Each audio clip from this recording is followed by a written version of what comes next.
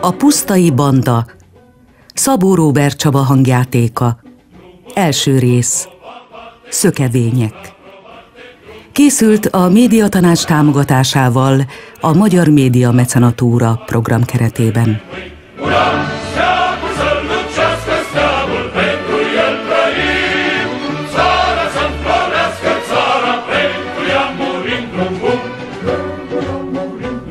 A második világháború után Romániában munkatáborokba, bányákba zárják a rendszer ellenségeit. Az elítéltek közül sokan a szökést választották. A szökevények jelentős része a hegyekben bujkálva, csoportokba verődve igyekezett túlélni. Legtöbbjük ellenállóként határozta meg önmagát, és összeszedték a front után maradt fegyvereket. A román titkos szolgálata, a Securitate 1950-ben 39 ilyen bandát és 600 szökevényekből lett bandatagot azonosított. Székelyföldön, Osdola környékén magyar katona szökevényekből álló társaság bujkált. Pusztai Ferenc és társai, Dézsi, Dénes és Máté György. Pusztaiék a kászoni falvak környéki erdőkben húzták meg magukat. A banda tagjait egyenként csalják csapdába. Megölik. Az elfogásukra tett erőfeszítések során több száz embert vallatnak, kínoznak meg, zárnak hosszú évekre börtönbe.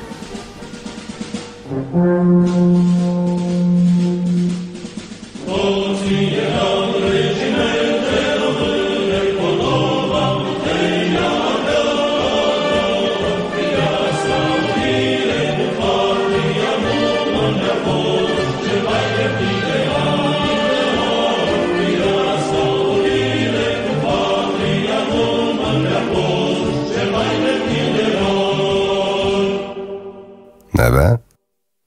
Deli Imre. Honnan ismerik egymás Pusztai Ferenccel? Legénykorunkból. Később együtt szöktünk meg a zsírvölgyéből, a bányából.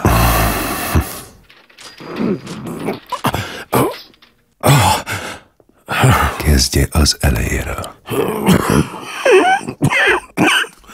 Deli Imre 1949-ben egy bálom megvertük Boros Lajost, a, az Osdolai Néptanács elnökét. Én pusztai, meg Dézsi. Részegek voltunk. A néptanács elnök jogában állt javasolni, hogy a legényeket fegyveres vagy munkaszolgálatra viszik katonának. Hát minket a boros munkaszolgálatra tett a bányákhoz. Dézsinek volt egy szeretője, egy férjes asszony befolyásos, de az sem tudott semmit intézni.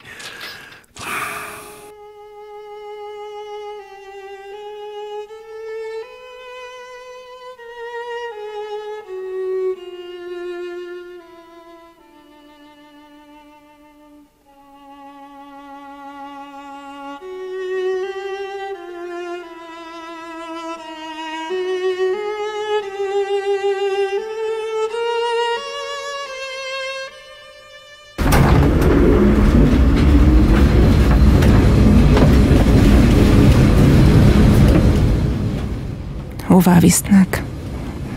Ferenc, Lupényba, a föld alá. mikor? Mikor szabadultok? Ferenc, Három év múlva. Megvársz? Mit válaszolt? Nem hallottam. Különben sem ismerem.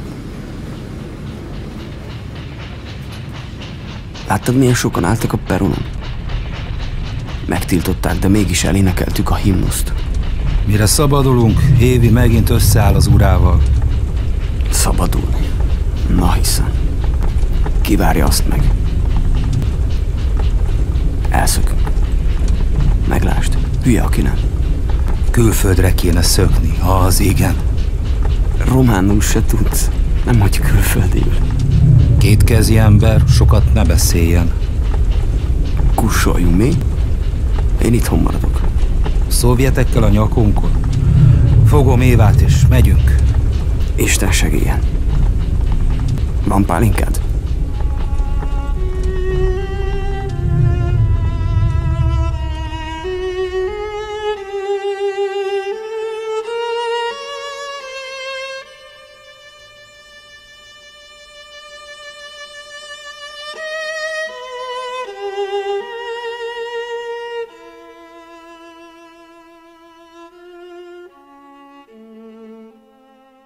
Tíz nap alatt kellett kitanuljuk a bányászatot, hetenként rásúvott valakire a szén. Napi nyolc-tíz órát dolgoztunk a tárnákban. Pusztaiék egész ősszel a szökést tervezték. Volt a táborban egy Manole nevezetű bukovinai, aki a második világháborúban a szovjetek ellen partizánkodott. Végül elkapták, és csak azért nem lőtték le ott helyben, mert állítólag elárulta néhány társát. Pusztai tőle tanulta ki a partizánok életét.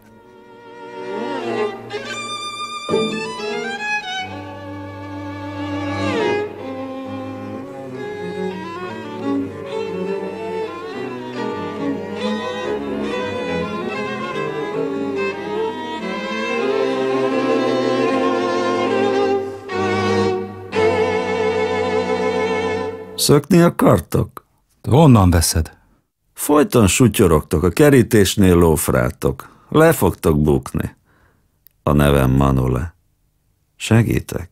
A hegyekben bujkáltál? Ott. Ismerem a hegyeket. Más, ha bújdosol, más, ha erdőt írtasz. Miért segítenél? Nem segítek, ha nem akarod. Fegyverre van szükségünk. Találsz. Megmondom, hol. Beszélj. Nappal nem mutatkozz. Maradj az erdőben. Senki se lásson az anyát se. A rokonaimban megbízom. Senkinek nem mond meg előre, hol és mikor találkozzatok. Nyáron könnyű, de télen? Nyáron? Nyáron ne legyen állandó táborhelyed. Tisztás ösvényt elkerülj.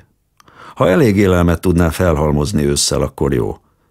Télen csak ülsz a rejtek helyeden és várod a tavaszt. Ha le kell menned a faluba, véged. A nyomok elárulnak. Ha forrást készítesz, ívás után tüntesd el. És még valami. Összesen egy emberben bízhatsz. A következő már elárul. És a fegyverek?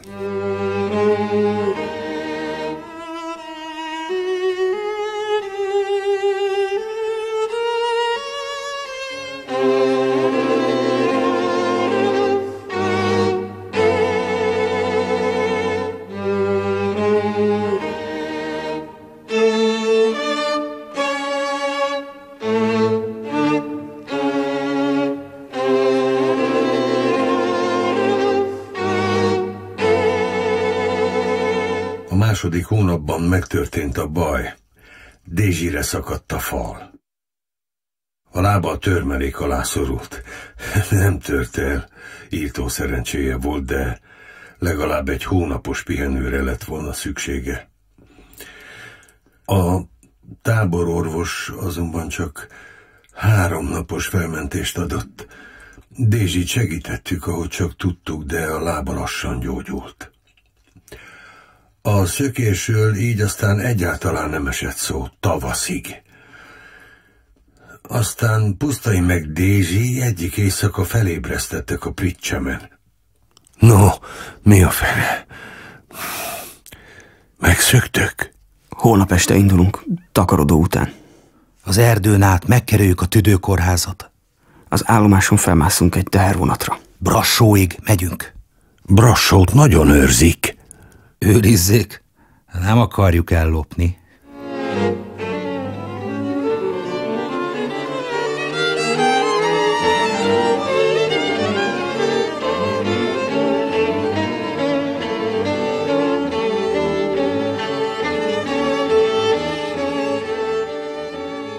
Így hát megszöktünk. Mikor apámékhoz beállítottam, azt mondták, adjam fel magam. Egy hétig vívódtam. Végül elindultam a városba a szekura. Gyalog mentem, az erdő alatt elém állt pusztai. Fegyver volt nála, reszketett a keze. A vásárba mész, Imi? Nem mondok semmit nekik, Ferenc. Becsület Istenemre. Azt hiszed, hogy ha elárulsz, megúszod a szénbányát. Erre szél, Ferenc. Befelé az erdőbe. Ferenc, erre szutamra. Velem jössz.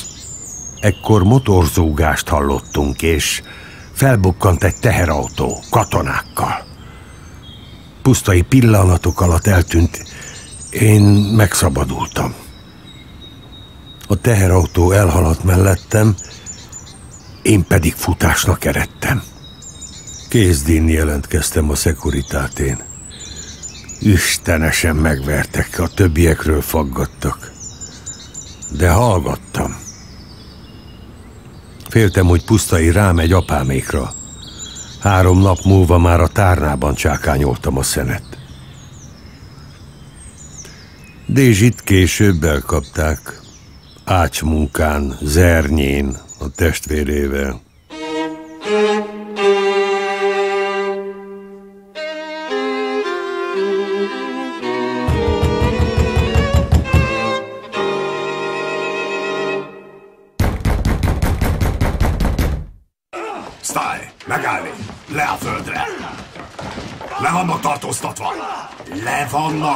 Tartóztatva!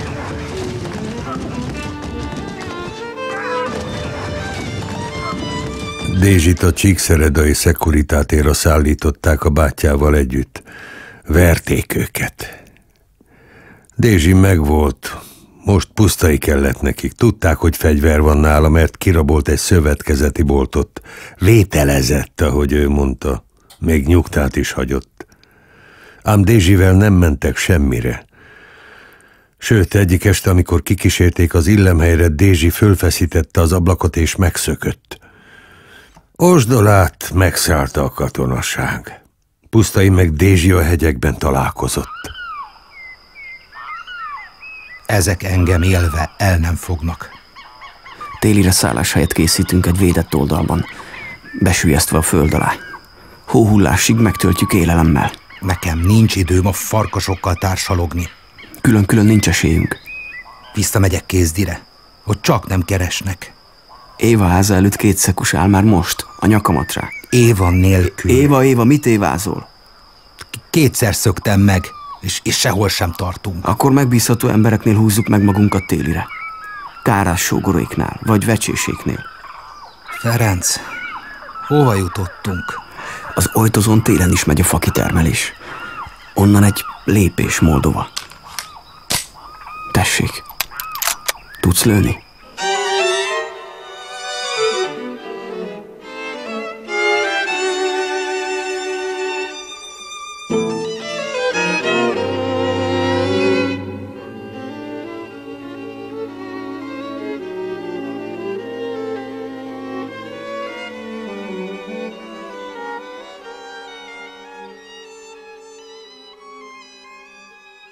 Máté Györgyöt, vagyis Jegest, a pusztai banda harmadik tagját 1950-ben internálták a Brassó melletti mészkemencékhez.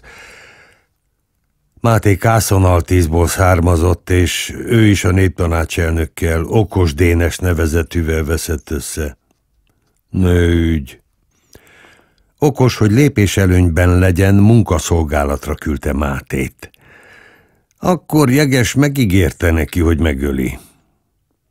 Jó maga viseletéért Jegest pünkösdre hazaengedték. Míg otthon tartózkodott, okos Dénest lelőtték. Másnap a munkatáborban tartóztatták le Jegest, épp akkor érkezett vissza. Hogy Jeges ölte meg okos Dénest, nem tudom.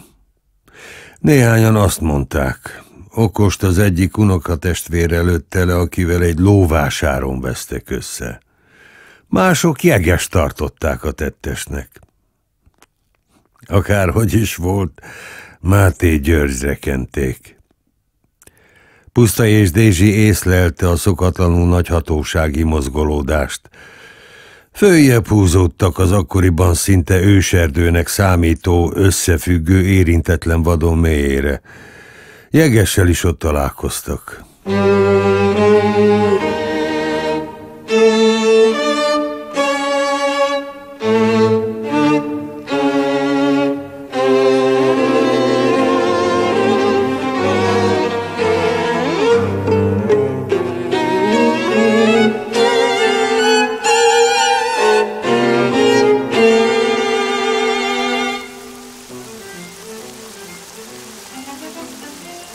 Bőrigáztam Ferenc.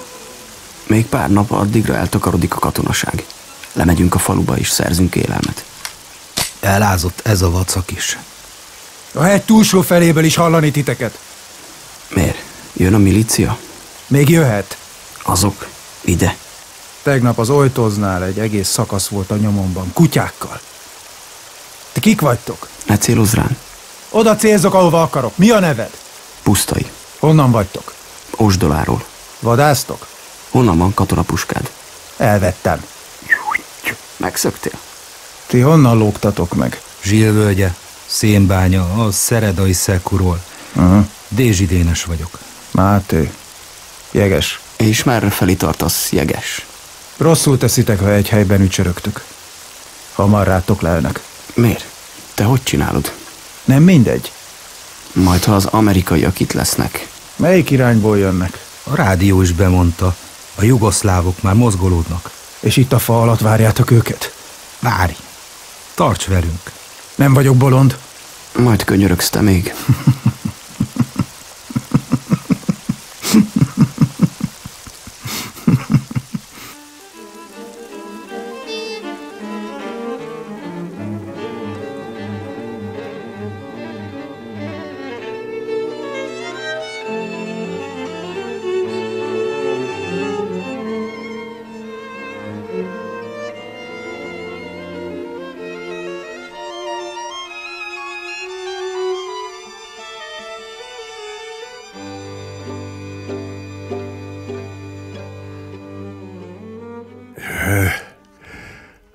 Pusztaiék. Néhány nap múlva visszamentek Osdolára, és megbízható emberek segítségével kiderítették, hogy a Securitáté kiket szervezett be. Listát készítettek a besugókról. Két napot időztek Osdolán, majd megrakodva élelemmel félnapi járásra húzódtak vissza a hegyek közé. Azokban a napokban törték lábát cibakerdésznek is. Dénes, az ott nem Cibak Jóska? Úgy nézem. Mit akarsz vele? Csak megleckéztetni. Adjál, mindjárt elalszom. Te menjél, én itt megvárlak. A múlt héten úgy megverte Nyikópali kisebbik fiát, hogy azóta se szólalt meg a gyermek. Tehenet legeltetett a tilosban. Megmutatom én neki, mi az a tilos. Mindig a rohanás. Hé, Ciba, támasz csak oda a fának a puskád. Na, mire vársz? Ferenc, Kire számítottál? A pártitkárra? mit kerestek erre felé? Legeltetni jöttünk. Térdre, Micsoda? gyerünk, nem hallasz? Térdre. Ferenc. Térdre az úristenit. Most rákcsáljad a füvet. Nem vagy a tilosban, ne félj.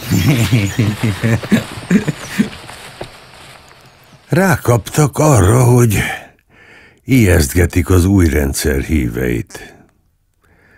Azokat is, akik beálltak a közösbe, a szövetkezetbe. A besugókat kiváltképp. Aztán a tél közelettével úgy döntöttek, kiki meghúzódik, ahol tud, és tavasszal megint találkoznak. Fél éve rótták az erdőket. Dézsi a rokonok segítségére számított.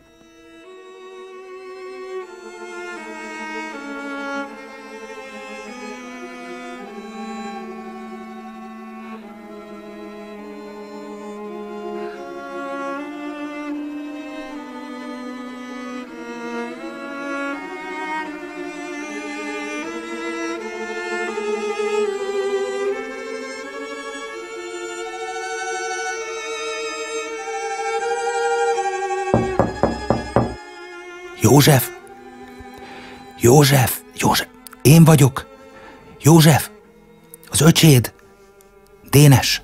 Az uramat elvitték a marosvásárhelyi szekura. Engedjen be, ángyom. Mit akarsz? Hogy engem is elvigyenek a két kis gyermek mellől a románok. Nincs hol aludjak. Nincs. A bányába adtak szállást is, kosztot is. Maradtál volna ottan.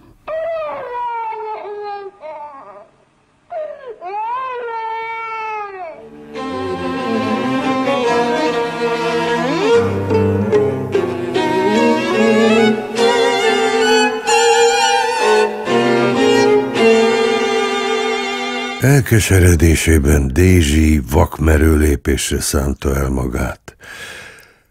Fölkereste régi szeretőjét Kézdi vásárhelyen. Éva! Éva! Megegyeztünk, hogy kerüljük egymást. Szökjünk el, Éva! És hová vinnél? A hegyekbe. Menj, várok valakit. Az a katonatiszt jön hozzád, igaz? Haj, Dénes.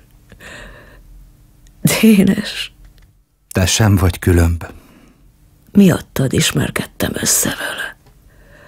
Hogy hát, ha segíteni tud rajtunk. Rajtad? Hát, nem tudott.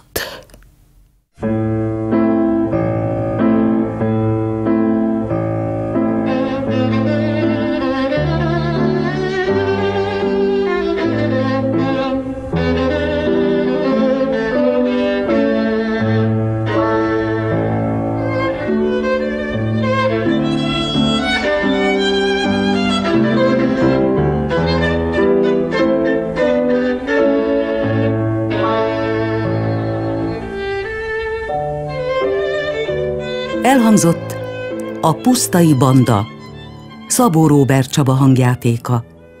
Első rész, Szökevények. Szereplők, nő Szirtes Ági, Pusztai Ferenc, Kovács Krisztián, Dézsi Dénes, Vajda Milán, Deli Imre, Dengyel Iván, Dézsi Ilona, Szabó Zsuzsa, Jeges, Takácsi Péter. Közreműködött Cserna Antal, Galkó Balázs, Miklós Marcell, Menszátor Attila, Surányi Noémi, Záhonyi Enikő. Hangmérnök Kis Attila, zenei szerkesztő Hortobágyi László, rádióra alkalmazta és rendezte Szikszai Rémusz és Surányi András. Készült a médiatanács támogatásával a Magyar Média Mecenatúra program keretében. A felvételt a Magyar Rádió Nonprofit ZRT megrendelésére a Kaneta produkció készítette 2015-ben.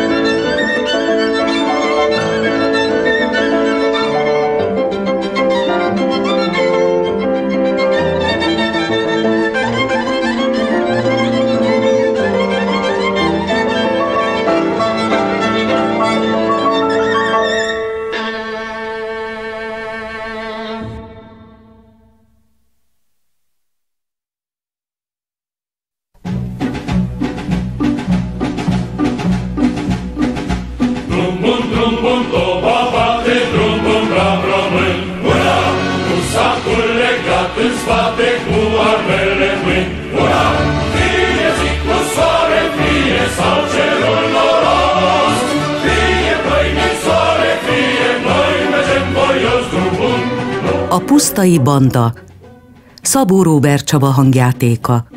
Második rész. Rablás a Szent Anna tónál.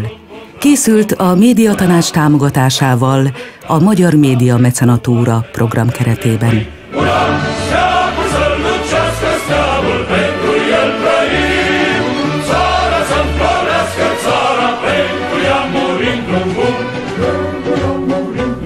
A második világháború után Romániában munkatáborokba, bányákba zárják a rendszer ellenségeit.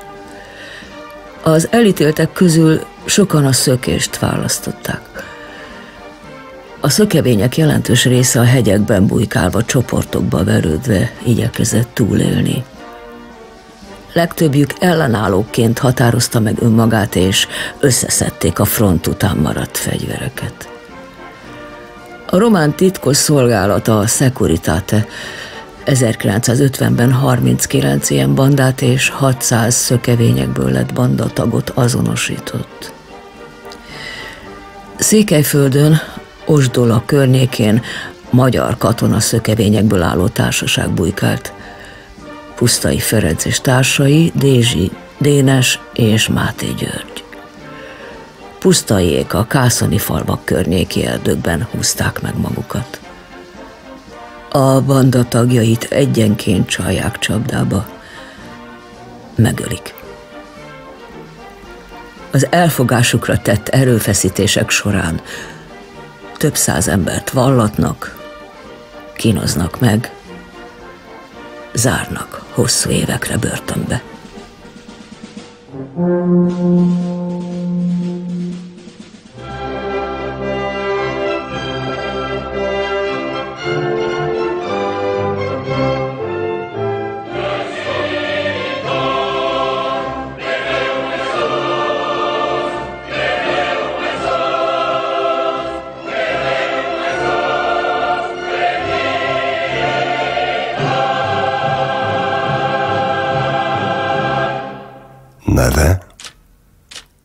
Vecsés Mihály. Hogyan került kapcsolatba Pusztai Ferenccel? Anyai ágról rokonok volnánk. Ferenc bújdosása első évében gyakran jött hozzánk. Azután nem. Megorrolt ránk, mert beléptünk a pártba. Legutoljára a Szent Anna tónál láttam, amikor kirabolták a népeket. Kezdje az elejéről. Ez Szent Anna tóhoz készültünk kirándulni családostul.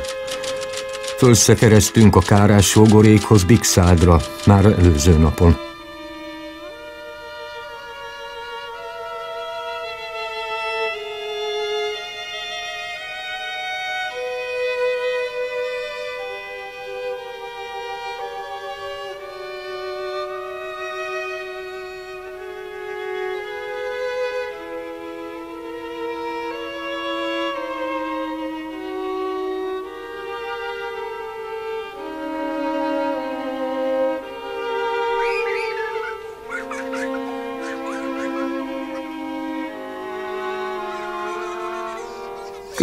Életed van neked, kárás sógor. A két nagyobbik lányod férjhez ment, elköltöztek a háztól. A kisebbik meg idős korotokra támasz. Te sem panaszkodhatsz. Szépen nőnek a lányaid. A legkisebb is tíz éves. Jószág föld, az se nyomas soká, ha valóban beállsz a szövetkezetbe. Gyerekek, menjetek ki az udvarra játszani. Te mikor adtad be a földeket? É, te se gondolkos sokat. Tudod, hogy a kakastollasoknak, mint amilyenek mi is voltunk, sokáig nem nézik el, ha okoskodunk. Te ráadásul a transportoknál is ott voltál 44-ben. Halkabban az Istenért. Magunk vagyunk. Volt, hogy hetente kétszer hivattak a csíkszeredei szekura. Aláírattak? Jelentenem kell. Nekem is. Milyen vonalon? A pusztai Ferike ügyét ismered? Ferike? De hiszen ő rokon. Nem ismernek ezek Istent.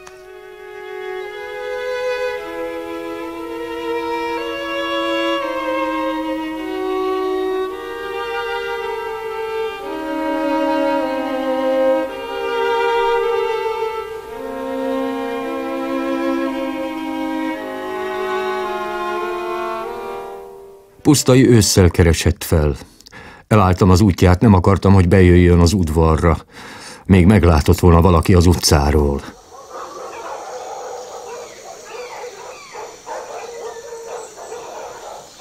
A puskája megvan-e még? Halkobban az istenedet. Rájár a rúd manapság a magyar világ csendőreire. Jobb lesz, ha megszabadul a fegyvereitől kend. Két hetente hívnak miattad a szekura. Azt hittem, a kakastól bántja a szemüket. Ott van minden a hídlás alatt a disznópajtában, vigyél el mindent. Nem sokára itt vannak az amerikaiak, és visszaáll a jó világ.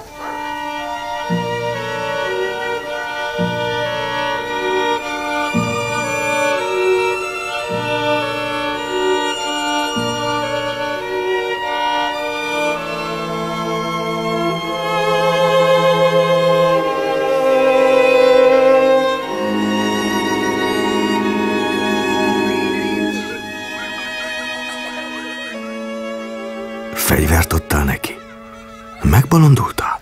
Azt hallottam, odalent egy erdésznek lábát törték.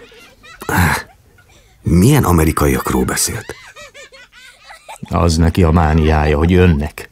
Ja, jönnek a fenét. De mi van, ha tényleg jönnek? Ha jelentgetünk, és tényleg felszabadítanak az amerikaiak, na akkor megint csak nagy bajban leszünk.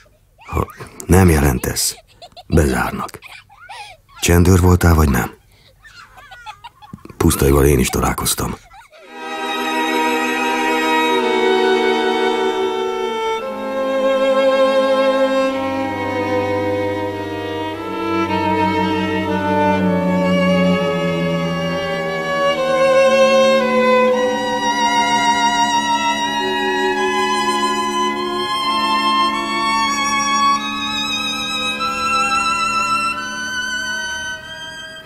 Vetőmagért voltam odalent Almáson, térültemben megálltam a szövetkezeti boltnál. Szürkült, kezdett sötétedni. Ahogy betoppantam az üzletbe, láttam rögtön, hogy baj van. Az eladó, felszegi Miska holt sápadt. Megfordulok, hát az ajtó mögül előlép egy fegyveres alak.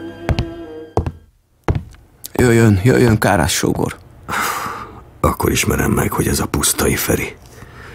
Mondom neki, mi az úristen csinálsz, Ferike? Mondja el a rendőröknek, hogy pusztai járt itt. Írjál nyugtát. Én nem megyek a rendőrségre. Nyugtát? Jó ötlet. Úgyhogy összeírta, mit rakott a zsákba, és a végén aláírta. Itt járt pusztai. Ez állt rajta. A falhoz állított minket, mondta, számoljunk el ezerig. A lovam majdnem hazament. Ennek van vagy már három esztendeje. És ezt jelentette, sógor? Az nem úgy van, hogy megválogatod, mit jelentesz. Az ember a saját véreit, rokonságát. Én nem fogok börtönbe menni, Mihály. Hallotta csógor, hogy a csíksomjói búcsú idejére motorbicikli versenyt szerveznek. Ja, a megyei utakat lezárják. Meg akarják nehezíteni, hogy a népek eljussanak Somjóra. Ö, mehetnek a mezőn, árkon bokron át. Sógor, ti nem mentek? Ö, jobb nem ott lenni. Almáson egyedül volt pusztai? A boltban egyedül. De azt mondják, a Dézsi nevű cimborájával mászkál. Én azt hallottam, Dézsit tavaly lelőtték a milicisták. Erről semmit sem tudok. Most valami jegessel bandázik.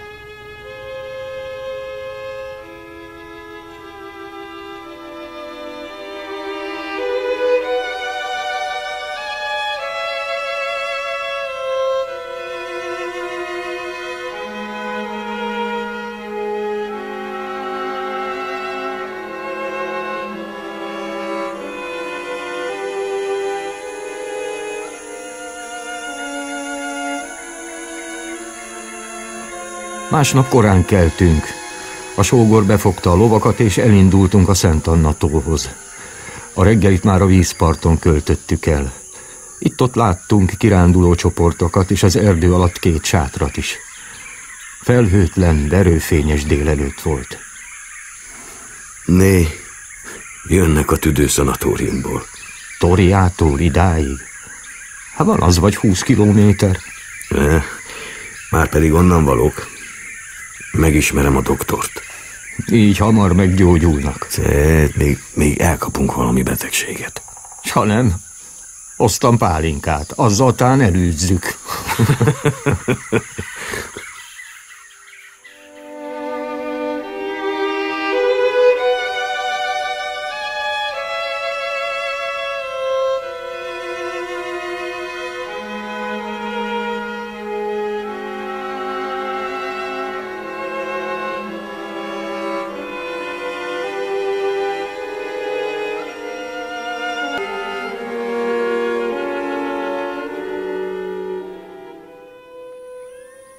Jaj, doktor, olyan csodálatos ez a tó, hogy mindjárt sírva fakadok. És mennyi ember? Kirándulók, vasárnap van. Bukarestből még sátrakkal is jönnek. Szép a főváros, doktor. Itt szebb. Legszívesebben átúsznám a tavat. Fürdésről szó sem lehet. Azt olvastam, hogy aki valamilyen testrészét belemártja, megszabadul bűneitől, és egy évig még biztosan nem hal meg. Csacsiság. Milyen sűrű erdőn átjöttünk. Maga nem félt, doktor? Laknak erre rablók?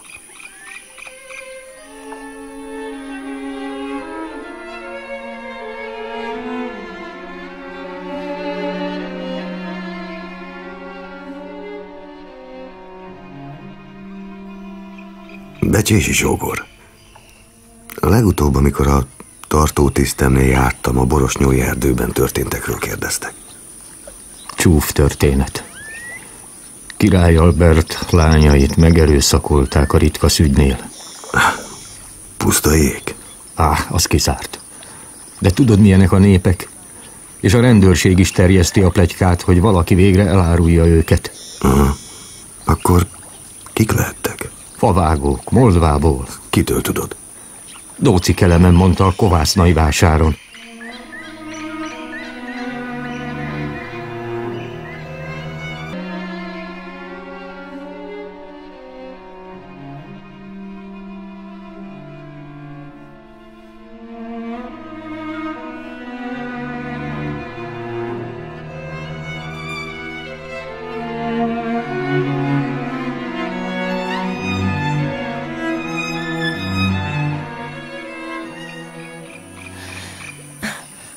Csak, doktor. Újabb idegenek. Anita, magának jobb a szeme. Jól látom, hogy fegyver van náluk. Jaj, rablók lennének? Doktor, ez olyan izgalmas. Hová tűntek? Kijöttek a fák alól. Szétnéztek, lesétáltak a vízhez. Egy férfi és egy nő. Összeterelem a társaságot. Ez nem tetszik nekem.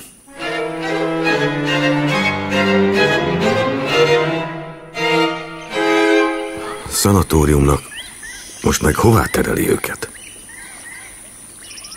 Hallottad, sógor, hogy Esztelneken is felszámolták az árdát? Beteg otthon lesz a helyén. A ferenceseket egyetlen éjszaka szedték össze. Kitelepítették őket. Á, nem érdemes már templomba se járni, ha jót akar az ember.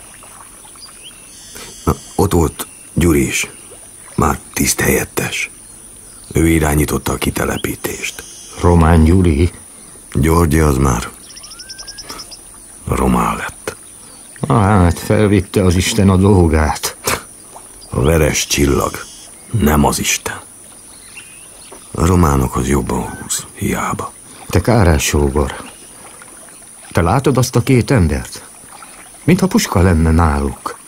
Nem puska az, hanem bot.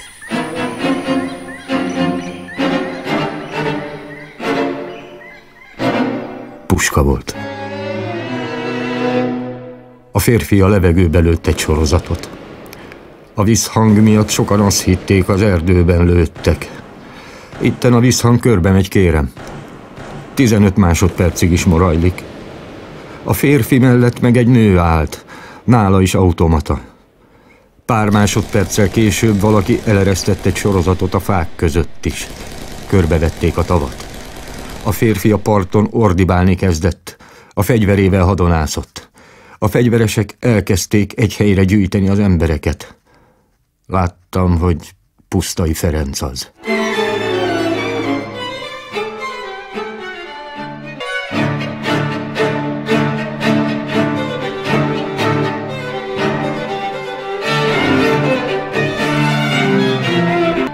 Pénztárcát, órát, na, na, gyűrűt, gyűrűt, jegygyűrűt is. Mindenki beledobni abba a zsákba. Mindenki! Tegyétek, amit mond. A fegyveres nő körbejárt a zsákkal. Mindenki beledobta az értékeit. A nők és a gyerekek sírtak félelmükben. Pusztai újabb sorozatot lőtt a levegőbe. A harmadik fegyveres az erdő alól kirángatott valakit, aki a sátrába bújt. Kiderült, hogy szekuritátés dolgozó. Arra kényszerítették, hogy a vízbe feküdjön, csak a feje volt kint. Pusztai fölismert, közelebb lépett. Na Mihály bátyám, vegye vissza a pénztárcáját a zsákból. Ferike, hát hová jutottál? Látom, itt van Káras sógor is. Csupa rokonság. Két hete szombat éjszaka zörgettem az ablakán sógor. Nem hallottuk, fiam. A szekuristákhoz ne járjon annyit, mert elkopik a lába. Én? Ugyan, Ferike. Nem járok én sehová. Csendős sors, nehéz sors. Tudom. De nem kell besúgónak lenni. Pff. Mihály bátyám, vegye már ki azt a kurva tárcát. A maga lányai? Megnőttek. Vigyázzon rájuk. Megjegyezte mindenki? Pusztai Ferenc járt itt. A kommunista világnak nem sokára vége lesz. A nevem Pusztai Ferenc. Partizán. Azzal aztán fogták a két zsákot, és eltűntek a kápolna irányába.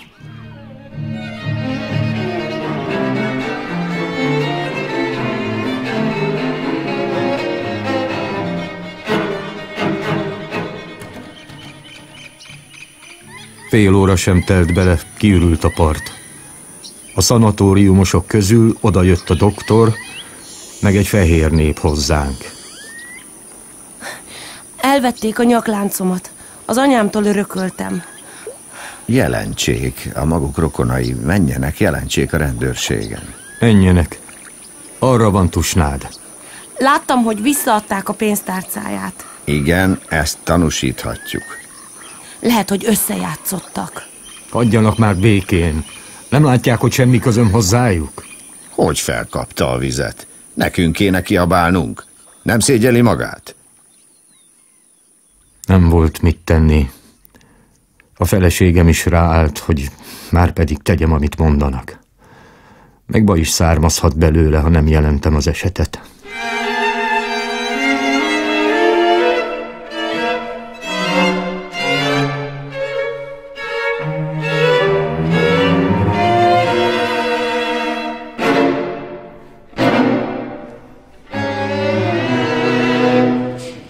A Tusnát fürdői rendőrségen jelentettem, hogy mi történt a tónál. Kárás sógort meg engem ott marasztaltak, az asszonyék hazamentek a gyerekekkel. Sírtak még akkor is, de nem volt más választásunk. Pár órát várakoztattak, mire megérkeztek a brassói kapitányságról. Román Gyuri vezette a nyomozást. Ez a román Gyuri elrománosodott, pedig apja anyja magyar származású volt. Először elvitte Kárászt sógort, majd engem is kihallgatni.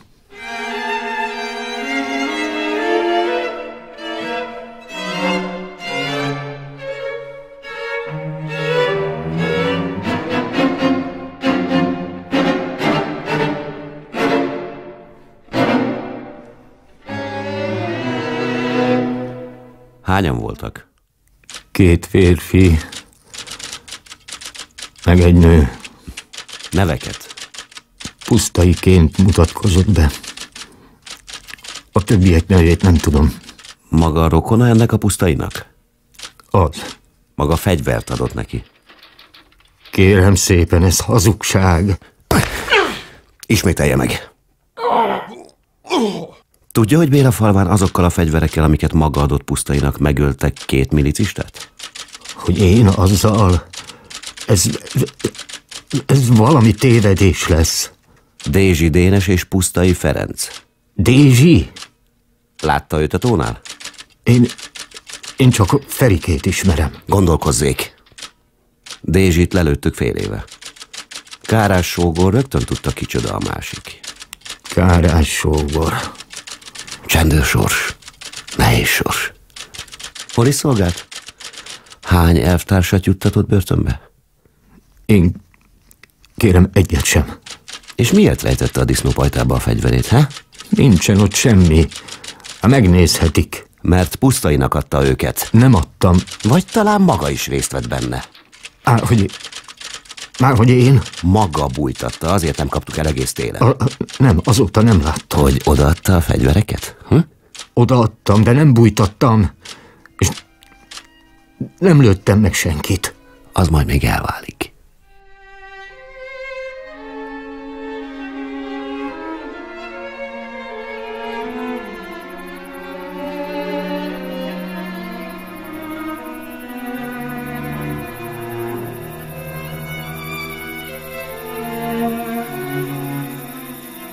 Doktor, doktor, valaki járkál oda lenn az udvaron.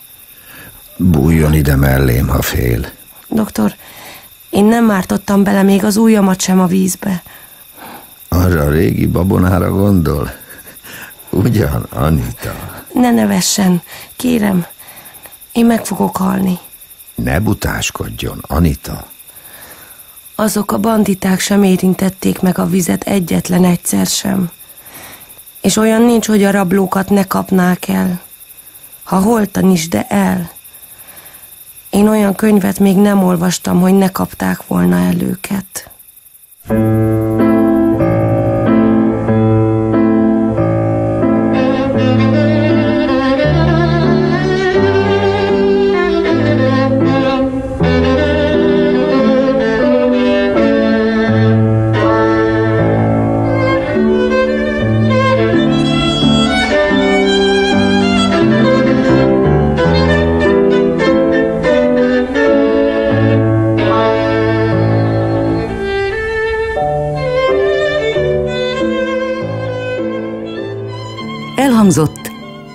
Pusztai Banda, Szabó Róbert Csaba hangjátéka. Második rész. Rablás a Szent Anna tónál. Nő, Szirtes Ági. Vecsés Mihály, Bán János. Kárás Sógor, Debreceni Csaba. Pusztai Ferenc, Kovács Krisztián. Anita, Pálos Hanna. Doktor, Epres Attila. Román Gyuri, Kálid Artúr. Közreműködött Miklós Marcell, Menszátor Attila, Surányi Noémi és Záhonyi Enikő. Hangmérnök Kis Attila, zenei szerkesztő Hortobágyi László, rádióra alkalmazta és rendezte Szikszai Rémusz és Surányi András.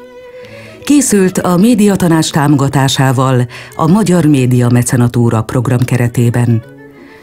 A felvételt a Magyar Rádió Nonprofit ZRT megrendelésére a Kaneta produkció készítette 2015-ben.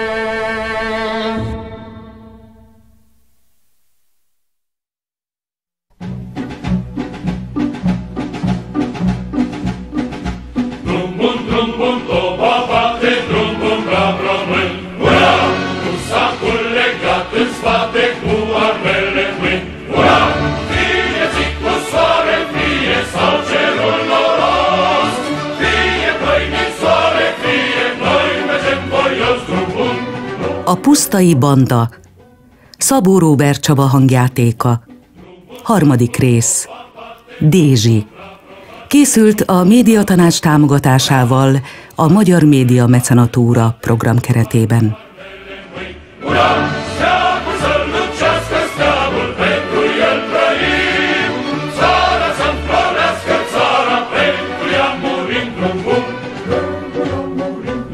A második világháború után Romániában munkatáborokba, bányákba zárják a rendszer ellenségeit. Az elítéltek közül sokan a szökést választották. A szökevények jelentős része a hegyekben bujkálva, csoportokba verődve igyekezett túlélni. Legtöbbjük ellenállóként határozta meg önmagát, és összeszedték a front után maradt fegyvereket. A román titkos szolgálata, a Securitate 1950-ben 39 ilyen bandát és 600 szökevényekből lett bandatagot azonosított. Székelyföldön, Osdola környékén magyar katona szökevényekből álló társaság bujkált. Pusztai Ferenc és társai, Dézsi, Dénes és Máté György. Pusztaiék a Kászani falvak környéki erdőkben húzták meg magukat. A banda tagjait egyenként csalják csapdába, megölik. Az elfogásukra tett erőfeszítések során több száz embert vallatnak, kínoznak meg, zárnak hosszú évekre börtönbe. Un incendio invento va.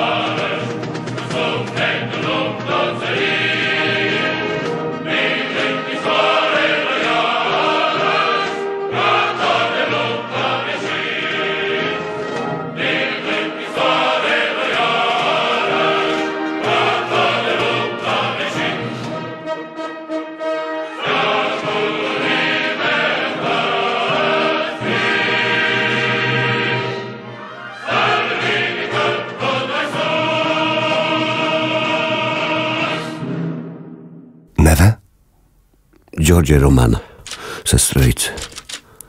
Román György. Ön a, magyar származású. Már iskolásként kérvényeztem a nevem románosítását. Na és kedves Román úr, mikor és milyen körülmények között került kapcsolatba a pusztai bandával? A brassói szekuritáté küldött a helyszínre 1953. augusztus 10-én, amikor Pusztai és Dézsi a Béla falva nevű településen lelőtte a két pojáni rendőrt. Részt vettem továbbá az egy évvel későbbi akcióban is, Boros néptanács elnök házánál, amikor Dézsi Dénes banditát likvidáltuk. Kezdje az elején. Román úr. A rendőrgyilkosság Pál Menyhért portáján történt hajnalban, Szösztrőic. A, a vallomása szerint Pál, aki jó bicska készítő hírében állt, már korábbról ismerte pusztait. A bandita 1953 nyarán látogatta meg először Pál Menyhértet.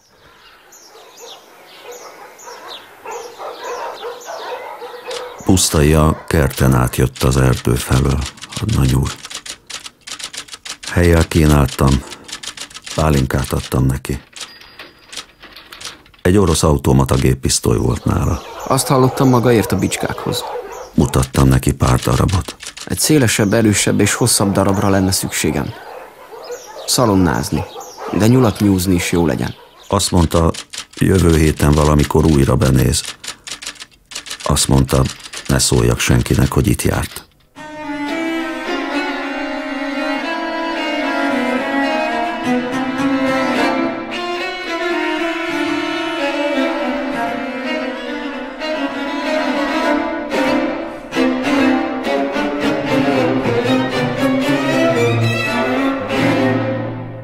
Pál Menyhért nem hazudott a vallomás alatt, Szöszrőic. Igaz, naponta megverték Marosvásárhelyen, a szekuritátén nem viccelnek. Öt nap múlva valóban beállította a bicskáért pusztai, de nem egyedül jött. Hozta cimboráját, Dézsi Dénest is.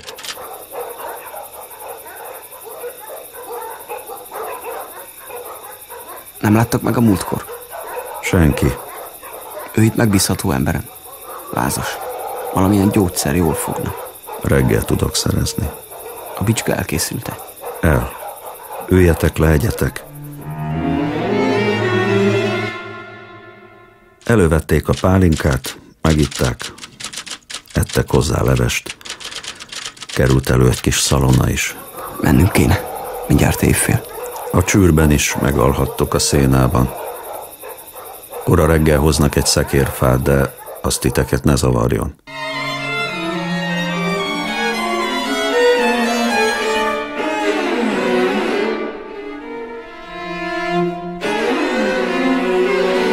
Pál Menyhér csak egy valamit nem említett rögtön az első vallomásakor, később vertük ki belőle Szösztröic.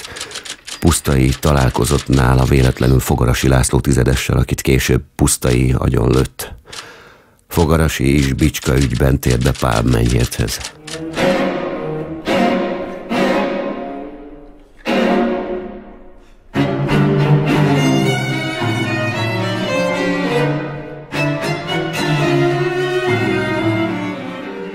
Látom, vendége van. Nem zavarok. Rokonság a hegyen túlról. Ritkán látjuk. Honnan való? Ah, Moldovából. Uh-huh. Nem. Petrozsényből jöttem. A bányából. Nehéz munka? Nem javasolnám senkinek. Na hát... Há, hát én akkor... uh, Mennyibe jön ez a bicsok, mennyit, bátyám? Vigye csak.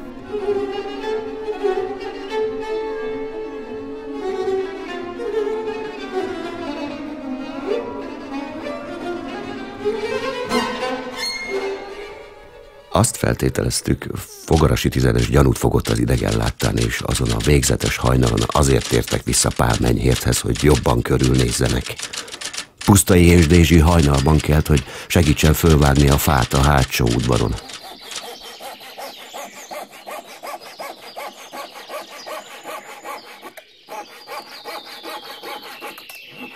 Aztán menj bátyám. Kommunisták vannak-e a faluban? Akad. Besúgók? Én nem politizálok, fiam. Olyanok, akik folyton a milicisták seggében vannak. Hadd el, fiam. A jóisten egyszer csak megbünteti őket. Ha ennyi gazemberséget elnéz, bizonyára nem nyitja ki eléggé a szemét. Egészséget! Bemehetünk, mennyért, bátyám? Fogarasi vagyok.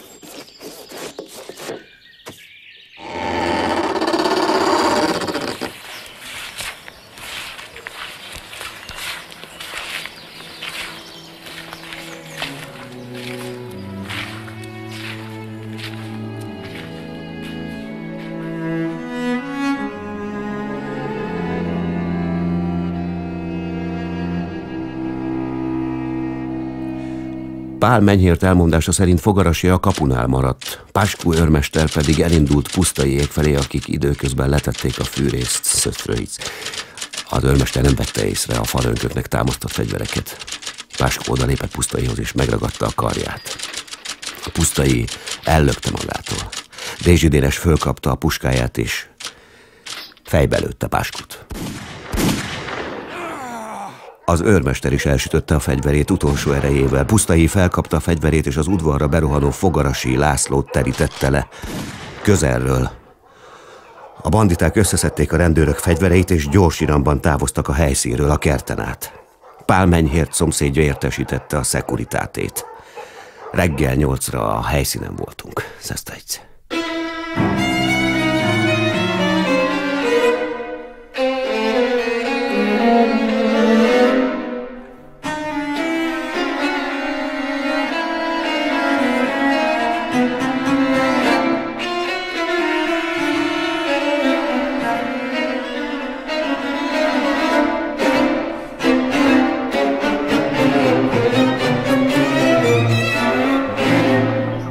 Hol vannak a holtestek? Hátul a farankök között. Vérnyomok? A kukoricás irányába. Eltalálták egyiküket. Hozzanak nyomkövető kutyákat. Igenis. A ház tulajdonosa hol van? Pál mennyhért, bent őrizik a konyhában. Gyűjtsék össze a szomszédokat, pár rokonait.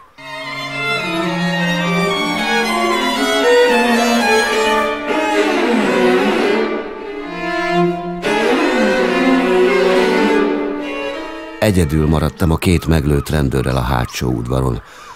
Páskó őrmester feje egy cserefarönkön hevert, félrefordulva. Láj, de minye, az egész arca véres volt. A felső teste alatt hatalmas vértócsa. A fogarasi tizedes tőle nem messze, talán négy-öt méterre hevert, széttárt karokkal hanyatt a füves részen. Körülöttük szanaszét, felvágott fadarabok, eldobalt fűrész, fejsze, fülsiketítő csönd. Azt a parancsot kaptuk, hogy minél több embert hallgassunk ki, tartóztassunk le, keltsünk félelmet a faluban, mutassuk meg, hogy akik a banditákkal paktálnak, azok semmi jóra nem számíthatnak. Le vannak tartóztatva.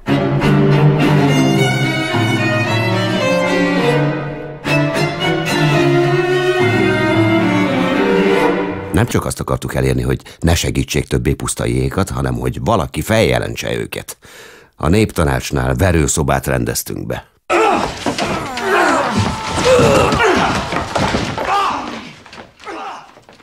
Letartóztattuk Pusztai és Dézsi családtagjait. Átvilágítottuk az erdészeti hivatalt. Beszerveztük a legmegbízhatóbb alkalmazottakat. Listát kértünk a hegyekben ismert menedékházakról, kunyhókról, kalibákról. A fakitermelő társasághoz beépített munkásokat küldtünk. A juhászokat a hegyekben beszerveztük. Le vannak tartóztatva! Le vannak tartóztatva!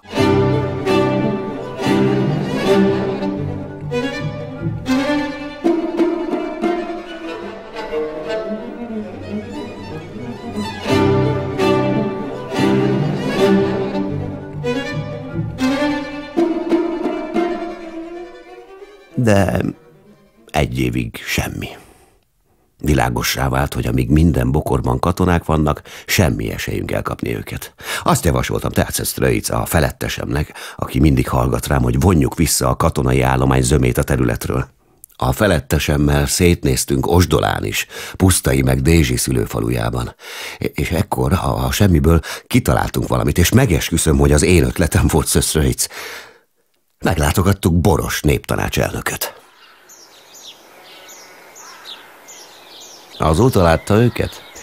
Nem, szerencsére, de az igazat megvalva, mióta megtudtuk, hogy megszöktek, fegyvert tartok magamnál.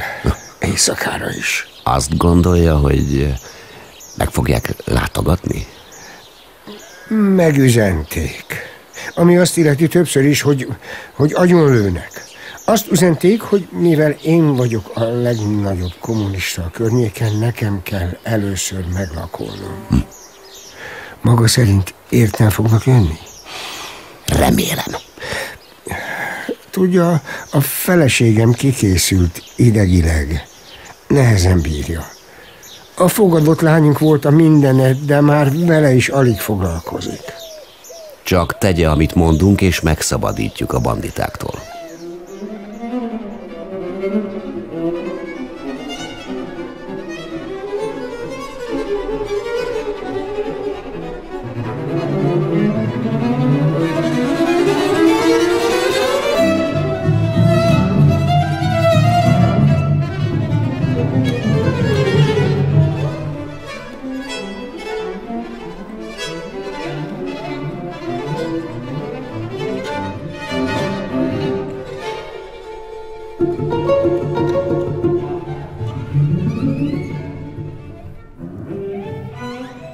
Úgyhogy új tervet dolgoztunk ki.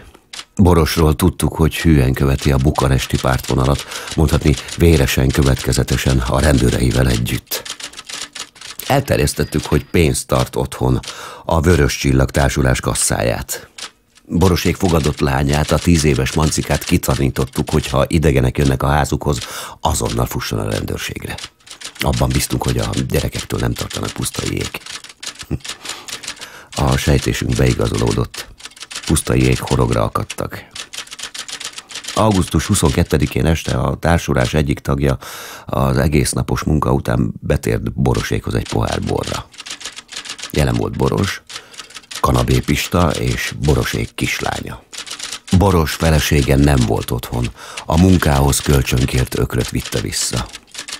Borosék a lakóháztól külön épített nyári konyhában tartózkodtak.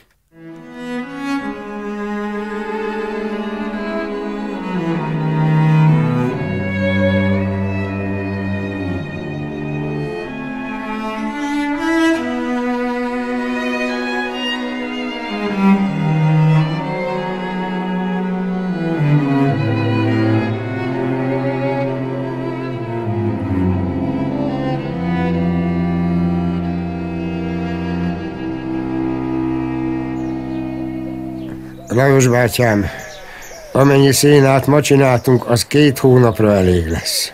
A padlásokat nem sepernétek le annyiszor. Többen beállnának a kollektívbe. Azt újra elosztják. A szegények, az éhezők kapnak belőle. Ne legyen vak. A szovjetek meg a mieink tudják, mit csinálnak. Tudják a fenét. Két éve tart a szárasság. A székelyföldön éheznek. A kommunisták a románoktól védenek meg. A románoktól? Hogy elveszik tőlünk a betevőt. Pistabá, én azt hittem magában bízhatok. Ismerek családokat, akik tavaly télen a régi rossz bakancstalpokat főzték a levesbe.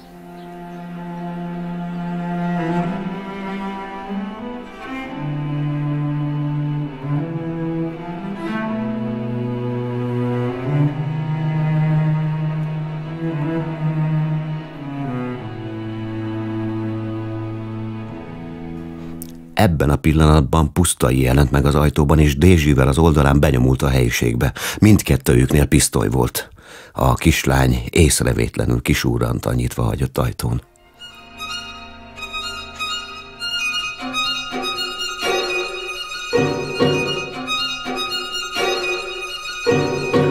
Folytassák. Elvtársak, folytassák. Add elő a fegyvereket. Nincsen nekem fegyverem. Na, az úgy. Viszünk az erdőbe, és ott lövünk agyon. Ó.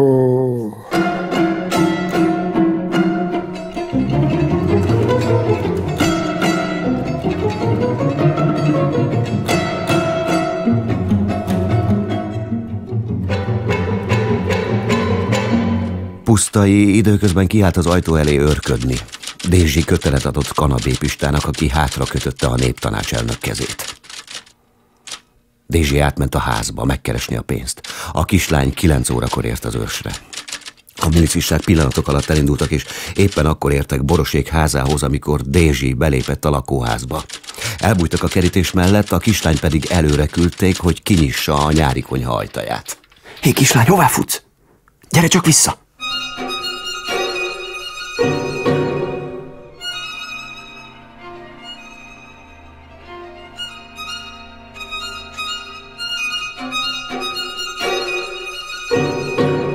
A kiabálásra a Dézsi előjött a lakóházból, észrevette az egyik milicistát, rálőtt, de nem találta el. Ellenben a milicista a teljes tárát kilőtte Dézsire. Pusztai az első lövésre kiugrott a nyári konyha ablakán, és vaktában lövöldözni kezdett. A, milicisták viszonozták a tüzet. Tíz perc múlva abba hagyták a lövöldözést, egy ideig hallgatóztak, majd két milicista benyomult a konyhába. Csak borosékat találták ott sértetlenül. A milicisták leoltották a lámpát, ekkor újabb lövöldözés kezdődött a kert irányából. Két kézigránát is felrobbant. A vaksötétben vártak pár órát, míg kézdivásárhelyről megérkezett az erősítés. Dézsi holttestét hajnalban találták meg a virágos kertben. Két fejlövés végzett vele.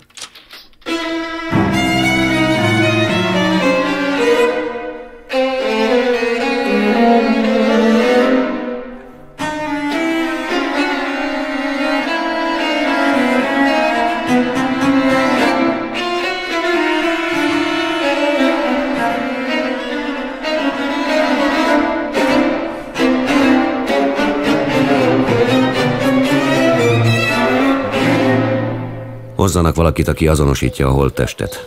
Hogy is hívják a régi kedvesét Dézsinek? Toldi Il- Ilona? Takarítsák el az udvaromról ezt a mocskót. Látom, nem nagyon örül.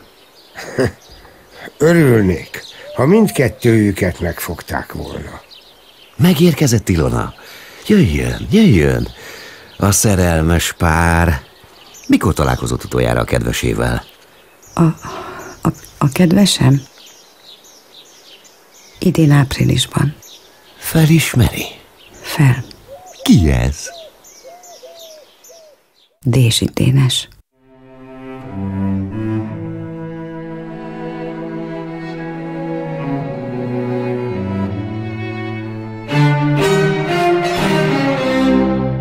A holttest mellett találtunk egy hátizsákot, benne 150 golyót, két magyar gyártmányú kézigránátot, szalonnát, némi kenyeret, egy noteszt, benne versekkel, egy fényképet egy egyelőre ismeretlen lányról, nyugtákat a szövetkezeti boltokból elrablott holmikról, egy listát az általuk besugóknak tartott egyénekről a környező falvakból. Augusztus 23-án a holttestét kitettük közszemlére a falu főterére. Másnap elszállították kézdivásárhelyre boncolásra. Megtiltottuk, de valaki mégis félreverte a harangokat a templomtoronyban. Felsőbb parancsra Dézsit jelöletlen titkosított helyre temették. Pár év múlva a boros felesége öngyilkos lett. Nem bírta az éveken keresztül rájuk nehezedő nyomást, a félelmet pusztaitól. Pedig addigra pusztait is elkaptuk.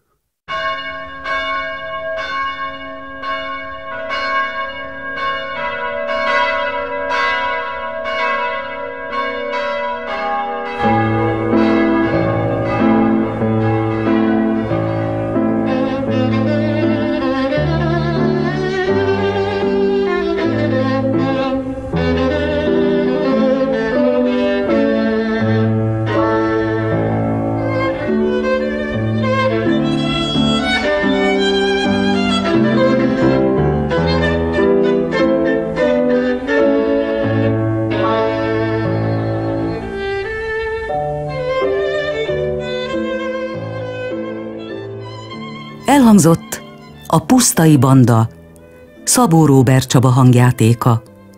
Harmadik rész. Dézsi. Nő, Szirtes Ági. Román Gyuri, Kálid Artúr. Pusztai Ferenc, Kovács Krisztián. Dézsi Dénes, Vajda Milán. Toldi Ilona, Kerekes Éva. Közreműködött Cserna Antal, Miklós Marcell, Surányi Noémi és Záhonyi Enikő. Hangmérnök Kis Attila, zenei szerkesztő Hortobágyi László, rádióra alkalmazta és rendezte Szikszai Rémusz és Surányi András. Készült a médiatanács támogatásával a Magyar Média Mecenatúra program keretében. A felvételt a Magyar Rádió Nonprofit ZRT megrendelésére a Kaneta produkció készítette 2015-ben.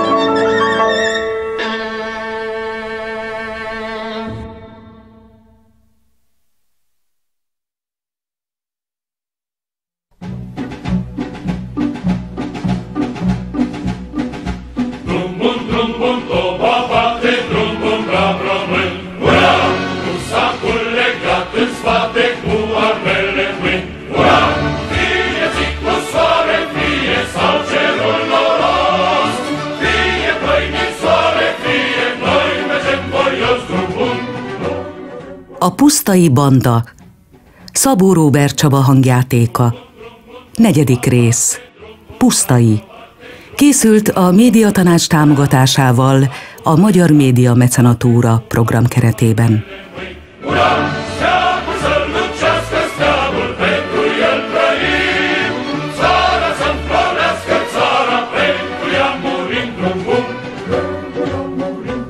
A második világháború után Romániában munkatáborokba, bányákba zárják a rendszer ellenségeit. Az elítéltek közül sokan a szökést választották. A szökevények jelentős része a hegyekben bujkálva, csoportokba verődve igyekezett túlélni. Legtöbbjük ellenállóként határozta meg önmagát, és összeszedték a front után maradt fegyvereket. A román titkos szolgálata, a Securitate 1950-ben 39 ilyen bandát és 600 szökevényekből lett bandatagot azonosított. Székelyföldön, Osdola környékén magyar katona szökevényekből álló társaság bujkált. Pusztai Ferenc és társai, Dézsi, Dénes és Máté György. Pusztaiék a Kászani falvak környéki erdőkben húzták meg magukat. A banda tagjait egyenként csalják csapdába. Megölik. Az elfogásukra tett erőfeszítések során több száz embert vallatnak, kínoznak meg, zárnak hosszú évekre börtönbe. A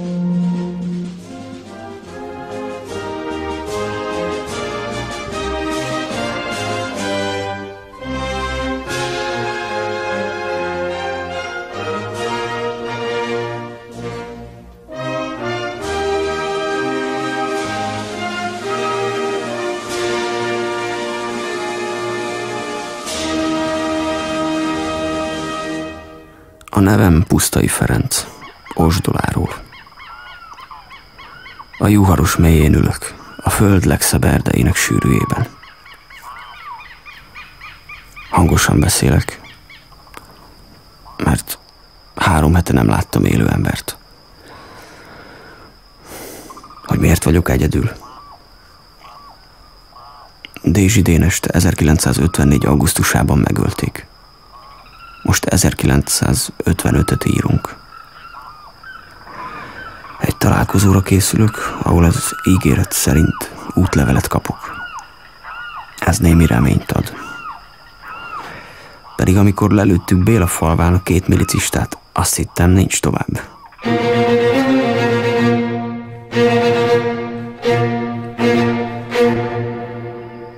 A kukoricásokon át rohantunk az erdő felé. Dézsi később vette észre, hogy vérzik a lába.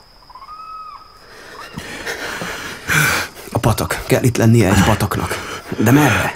Talán, talán arra. Nem, ott a vasútállomás van. Látod a fényeket? Akkor jobb kézre lesz. Jó, jó irányba haladtunk. A patakmeder olyan hirtelen bukkant elő a semmiből, hogy belezuhantam a vízbe a partról. Az Isten! Ah, vigyázz, Dénes! Ereszkedj bele a vízbe! Gyerünk, még meg nem virrad. Sodrással szembe. Fázom. Ferenc, ki, ki, kimászok. A túlsó oldalon, a túlsó. Tessék, egy takaró. Vedd magadra. De nem, nem sokat ér. Égek össze a láztól. Vacogtak a fogai, úgy mentünk előre. Egyszer csak egy malomhoz értünk. Virratt. Hallgassd! A kergek nem járnak. Megnézem közelebbről. Valóban kihalt volt. Bevettük magunkat a malomba. Elnyomott az álom, Dézsi kölgésére ébredtem. Aztán észrevettem, hogy valaki az épület körül járkál.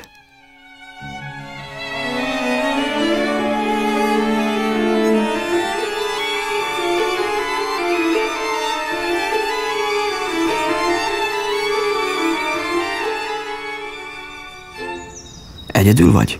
Úristen, de megijedtem. Van itt még valaki rajtad kívül? Senki. Ez az én malmom. A tiéd? Látod, Toldi malom. Ott írja. Toldi Mihály malma azt írja. Az apám meghalt. Mutassam meg, hova akasztotta föl magát? Felakasztotta magát. Te is azt tetted volna a helyében. A malom volt a mindene. Elvette az állam. De miért nem működtetik? Mert mielőtt öngyilkos lett, tönkretette. Tudsz kenyeret hozni? Megmutatom, hol halt meg. A barátom beteg. Gyógyszer kellene. A nagy gerendára kötötte föl magát. Hé, tudnál hozni ennivalót és gyógyszert? Persze. Toldi Ilona vagyok. És te?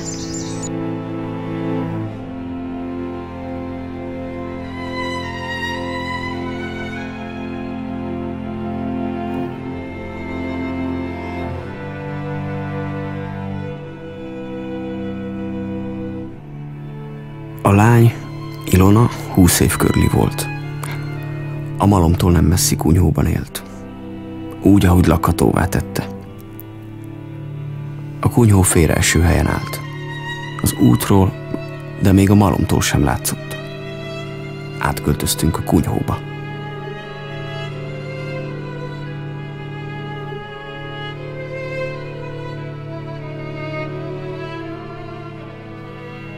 Béla falván megöltek két rendőrt. Ma reggel hallottam a faluban. Ti voltatok? Az sem baj, ha ti voltatok. Utálom a milicistákat. Az apám is utálta őket. Ha lett volna puskája, ő is meglőtte volna őket. Mi nem akartuk meglőni őket. Az elég baj. Holnap elmegyünk. Maradhattok. Megbízhatunk benned? Én csak a malomra vigyázok. Utálom a falusiakat. Az apám malma kell nekik. Többen is kérvényezték, hogy átvehessék, de csak az működtetheti, aki kommunista. Tudsz még hozni gyógyszert? Nincs tüdőgyulladása. Segíthetek vigyázni a malomra. Menj föl a padlásra, találsz egy kémlelő nyílást. Onnan jól látszik az országút.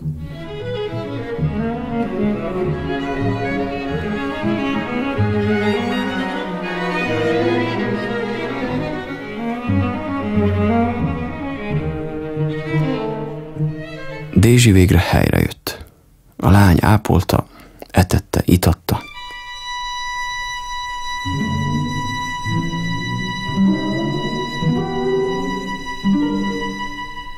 Itt járt Éva. Lázas voltál.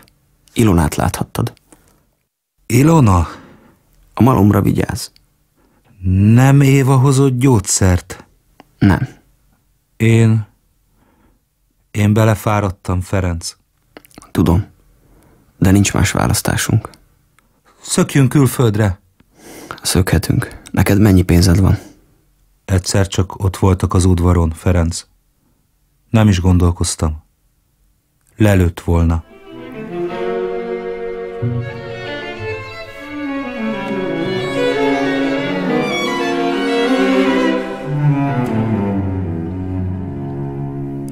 Én tovább bőrködtem, ültem a padláson.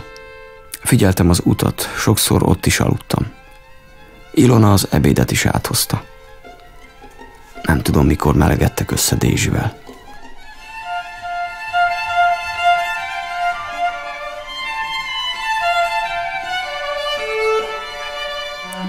Dénes, az a lány bolond. Miért? Mi normálisak vagyunk, hogy fegyverrel rohangálunk az erdőben? Az apjával társalog. Megint le akarsz beszélni egy nőről. Dénes, csak azért vagyunk itt, mert ennivalót hoz. Elbújtat. Ugyanolyan, mint mi. Elvihették volna a deltába, mert az apja kulák volt. Még egy hét, és odébb állunk. Jó. Ugye nem akarod magaddal hozni? Azt csinálok, amit akarok. Pénzt kell szereznünk. Szerzünk. Úgyse hagyja itt a malmát.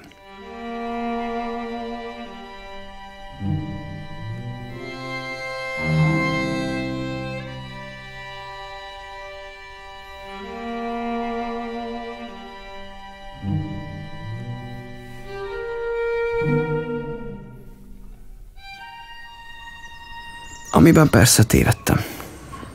Ilonának megmondták a faluban, hogy nem sokára újraindítják a munkát a malomban, és hogy költözzön el. Egyik reggelre Ilona összepakolt, egy hátizsákba tette bele a dolgait. Két napi járóföldre van egy faház. Ilona apja építette, a tolvajosban. A tolvajoson fakitermelés zajlik. Van egy ösvény, amin ki tudjuk kerülni a munkásokat. Mit fogunk enni? Irona lemegy a faluba, ő nem gyanús.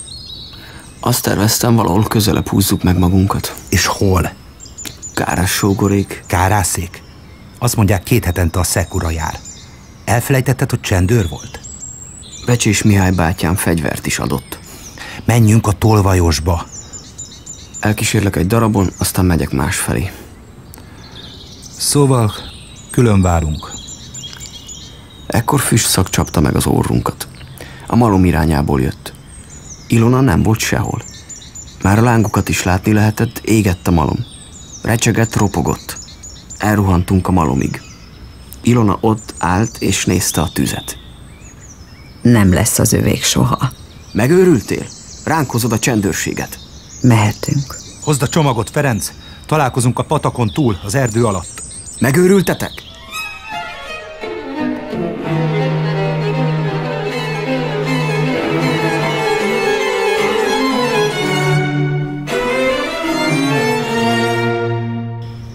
Dénes nevetett. A lány ugrált örömében. Fogták a motyójukat és elindultak a patakon át. Alig tűntek el a túlsó parton, meghallottam, hogy a faluban félreverték a harangot. Visszamentem a zsákomért, fogtam a puskám és átvágtam a patakon. Dézsiék már vártak. Elindultunk. Két nap alatt megérkeztünk a faházikóhoz. Egyik legeldugottabb kunyhó volt, amit valaha láttam. Dézsi azonban már a jövőt tervezte. Pénzt akart szerezni minden áron, hogy Ilonával külföldre szökhessenek.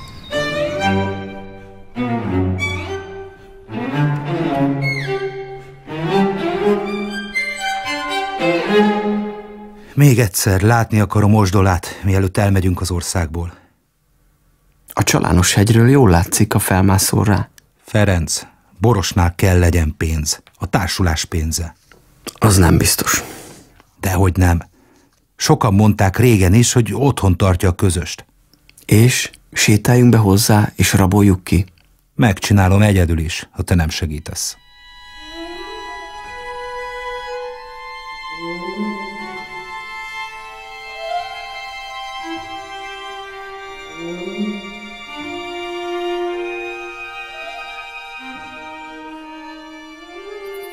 Kitavaszodott. Eljött a nyár. Terveztük Boros megtámadását. Augusztus elejére áthelyeztük a szállásunkat Osdola környékére is, két héten át figyeltük a környéket. Semmi gyanúsat nem észleltünk, és végül úgy döntöttünk, eljött az idő. A lányt az erdő szélén hagytuk, adtunk neki három kézigránátot és egy pisztolyt, hogy jelezzen, ha bajt észlel. Egy ideig jól ment minden, aztán megjelentek a rendőrök. Dézsit lelőtték.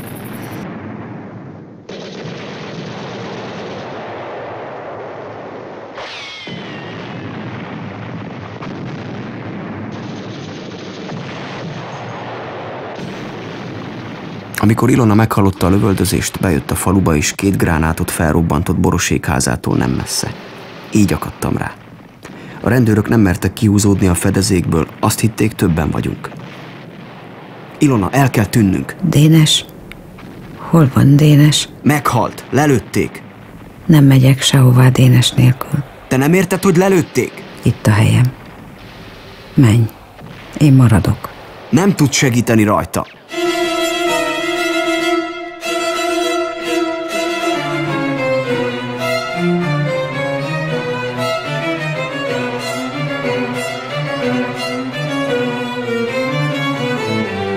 Visszaadta a pisztolyt és a gránátot, és eltűnt mellőlem a sötétben. Később újra találkoztunk, azt mondta, muszáj volt megnéznie Dénest utoljára.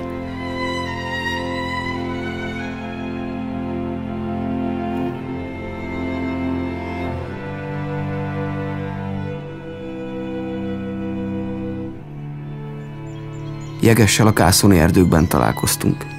Györi rettentően bizalmatlan ember volt. Feltartott kézzel kellett oda sétálnom hozzá. Szükségem volt a segítségére, mert most már én sem akartam tovább az országban maradni.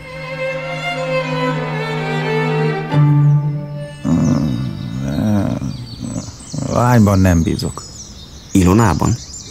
Néha két hétre is eltűnik, beáll gajazni a fakitermelésre, pénzt hoz, kenyeret. Te még mindig szökni akarsz? Útlevél kellene, úgy simább. Persze hamis. Honnan szereznénk hamis útlevelet? Jó, jó kérdés. A lánytól szabadulj meg mielőbb.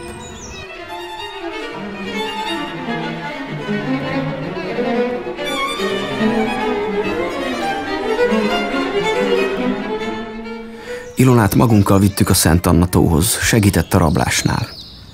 Nem akartam még elküldeni. De aztán jeges nógatására végül elmondtam neki, hogy szétválnak útjaink. Azt mondta, visszamegy a fakitermelésre. Megbeszéltünk egy állandó helyet, ahol üzenetet hagyhatunk egymásnak. A rablás után jegessel átmentünk Moldovába, néhány hónapot ott töltöttünk. Visszatérőben megtaláltam Ilona üzenetét. Azt írta, Találkoznunk kell, mert talált valakit, aki útlevelet tud szerezni. Tetszem neki. Udvarol. Tehetek róla. Szitta a kommunistákat, meg azt hajtogatta, hogy jó volna elmenni az országból. honnan tudod, hogy komolyan gondolja? A katonaságnál dolgozott. Megmutatta a régi papírjait. 1948-ban kirúgták a hadseregtől, később letartóztatták. Ült pár évet, megszökött. Azóta keresik. Ha tudsz szerezni útlevelet, ő miért nem ment még el? Itt segíti a bajba jutottakat.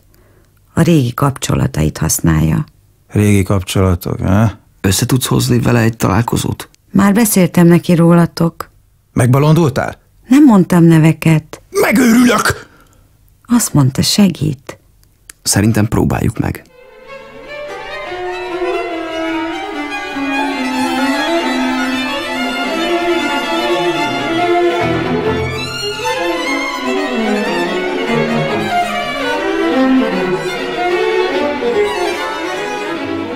Hát találkoztunk Kallós Sándorral.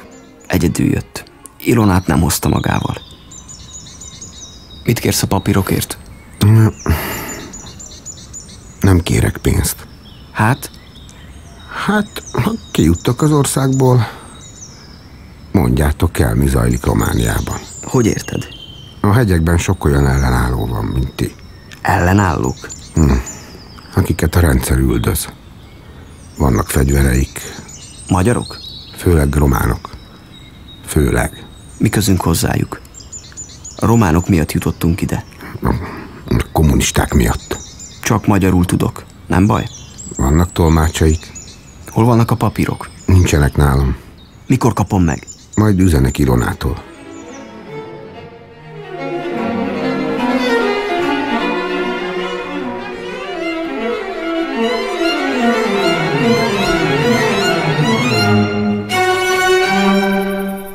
Találkozó után összevesztünk jegessel. Nem tetszett neki kallós, csapdát szimatolt. Külön váltunk. Három hétig egyedül kóboroltam a hegyekben. Aztán üzenetet hagytam Ilonának és Jegesnek a megbeszélt helyeken, hogy érdekel Kallós ajánlata. Kallós azt üzente, augusztus 10-én az Almás Réti Malomnál ide tudja adni a papírokat. Jeges az utolsó pillanatban mégiscsak úgy döntött, velem tart. Beesteledett. Vártuk Kallóst. Csak azt sem értem, minek kell bemenni kallóssal a malomba? Talán ott rejtette el az iratokat. Uh-huh. Nem tartja magánál. Uh-huh. Hozza ki. Azt hittem nem jössz vissza. Én is. De elegem van. Mennék már. Mozdulnék valamerre. Kár, hogy Dénes nincs velünk. Kár. Ilona ott lesz? Igen, a malomban. Neked jobb szemed van, maradj tekint, én majd bemegyek. Jön kallós.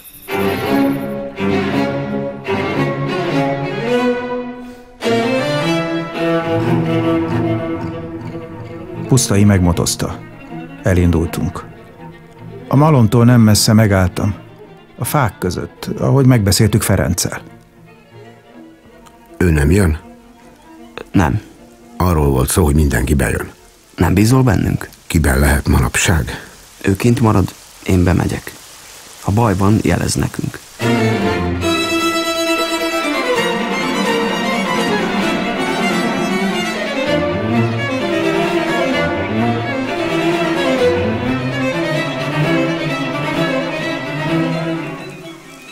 Elindultak a malom felé. Egész nap esett az eső, csuromvizesek voltunk. Épp hogy elállt estére. De az ég nem tisztult ki, úgyhogy alig láttam valamit. Ahogy az épület felé mentek, egy fény villant a malom tornácán. Füttyentettem pusztainak. Valószínűleg megállhattak, mert elfogytott indulatos beszédet hallottam. Kibiztosítottam a fegyveremet. Akkor kicsapódott a malom ajtaja, és milicisták tódultak ki rajta. Tüzelni kezdtek. Az épület mellett is torkolat tüzeket láttam, arra felé lőttem. Közben Pusztai is eleresztett egy sorozatot, megismertem a puskája hangját. Mindenfelől kiáltozás hallatszott. Kilőttem még egy sorozatot, aztán bevettem magam az erdőbe. Egy órán át rohantam. Meg sem álltam hallgatózni, hogy üldöznek-e. Ja, de nem üldöztek. Féltek utánam jönni.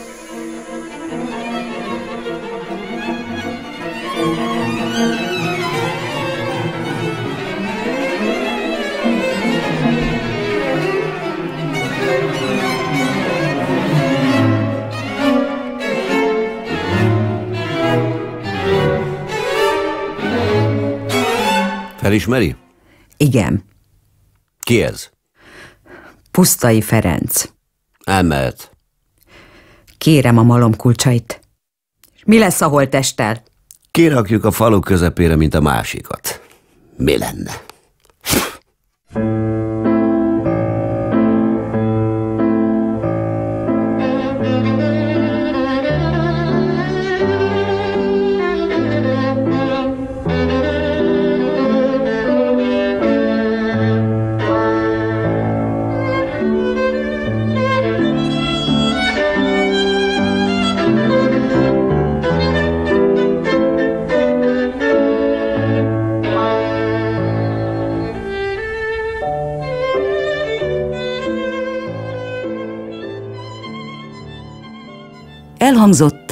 A Pusztai Banda, Szabó Róbert Csaba hangjátéka, negyedik rész, Pusztai, nő, Szirtes Ági, Pusztai Ferenc, Kovács Krisztián, Dézsi Dénes, Vajda Milán, Jeges, Takácsi Péter, Toldi Ilona, Kerekes Éva, Román Gyuri, Kálid Artúr, Kalló Sándor, Znamenák István. Hangmérnök Kis Attila, zenei szerkesztő Hortobágyi László, rádióra alkalmazta és rendezte Szikszai Rémusz és Surányi András. Készült a Médiatanács támogatásával a Magyar Média Mecenatúra program keretében. A felvételt a Magyar Rádió Nonprofit ZRT megrendelésére a Kaneta produkció készítette 2015-ben.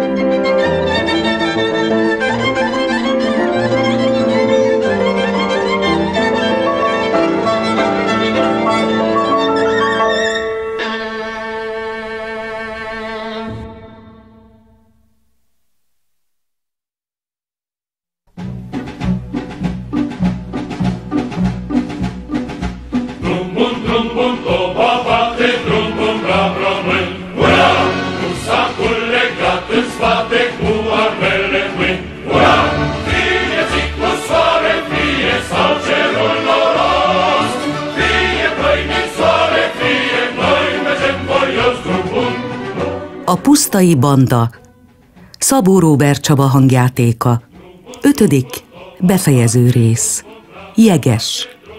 Készült a Médiatanács támogatásával a Magyar Média Mecenatúra program keretében.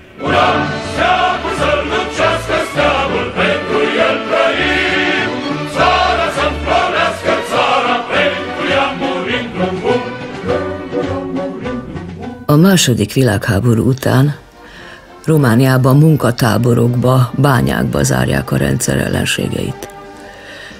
Az elítéltek közül sokan a szökést választották. A szökevények jelentős része a hegyekben bujkálva, csoportokba verődve igyekezett túlélni. Legtöbbjük ellenállóként határozta meg önmagát, és összeszedték a front után maradt fegyvereket. A román titkos szolgálata, a Securitate 1950-ben 39 ilyen bandát és 600 szökevényekből lett bandatagot azonosított. Székelyföldön, Osdola környékén magyar katona szökevényekből álló társaság bujkált. Pusztai Ferenc és társai, Dézsi, Dénes és Máté György. Pusztaiék a Kászani falvak környéki erdőkben húzták meg magukat. A banda tagjait egyenként csalják csapdába, megölik. Az elfogásukra tett erőfeszítések során több száz embert vallatnak, kínoznak meg, zárnak hosszú évekre börtönbe.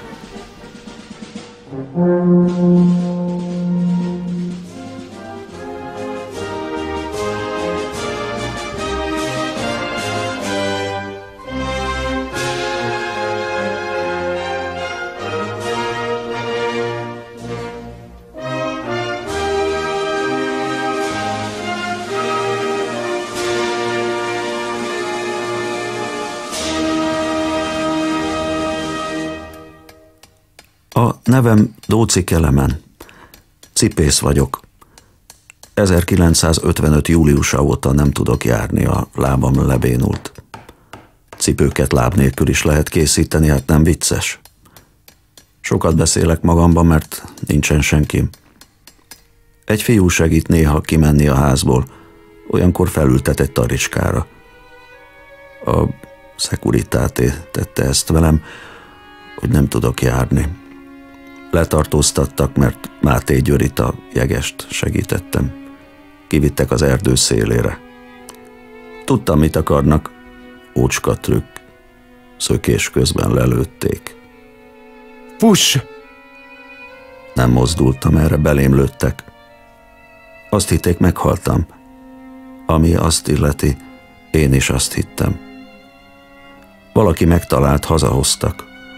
Felépültem, de járni többé nem tudtam. Senkinek nem mondtam el, kilőtt meg, mi lett velem. De magamban azért beszélhetek. Jegest végül 1955. október 23-án lőtték meg.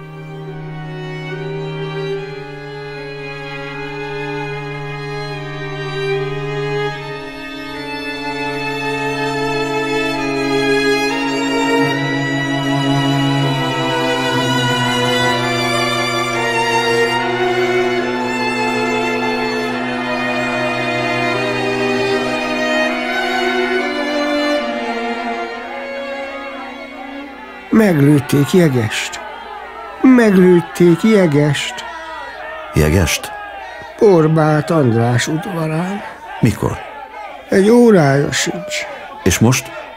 Most mi ez a ricsaj? Viszik a testét. Hamar a talicskát.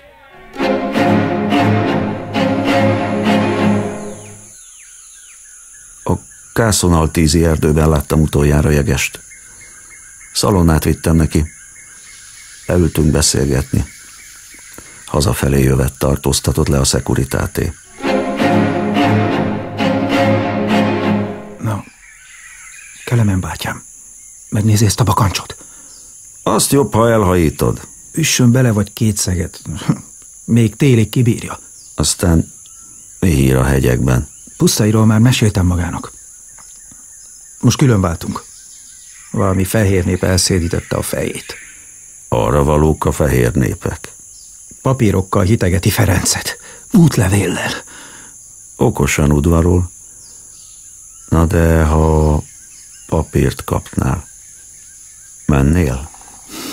Mennék. De nem fogunk papírt kapni. Kockázatos. Mi nem az? Itt előbb-utóbb elfognak, Györi. Kelemen bátyám miket hallott? Nagyon ellenetek van tüzelve mindenki. Osdolán is. Kászomban is. Fél osdolát elvitte a szeku már öt év alatt. Hm. Hallottam. Szoptatós anyákat is. Öregeket, gyermekeket. Azt remélik így elárul valaki titeket. És el is fog. Azért mondom a papírokat. Na, készen is vagyunk. Hm. Mondtam én, hogy jó lesz ez még. Azért még tél előtt találkozhatunk. Hozok neked egy újat.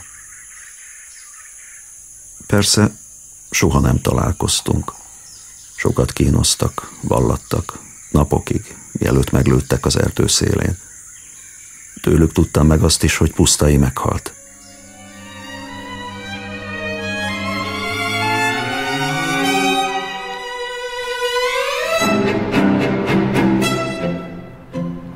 Megyünk a néptanács irányába, mert azt suttogják, áthozzák oda a testet. Arra futnak az emberek is, mennek csodát látni, a jeges holttestét. De mire odaérünk, kiderül, nincs ott a hulla. Akkor irány Borbát Andrásék portája. Lemaradunk. Mire megérkezünk, a kapuban nagy tömeg, mintha már is a temetést tartanák. A fiú elinal mellőlem. A tömeg egyszer csak szétnyílik, egy, aztán még egy holttestet hoznak. Azt mondják, az Györi.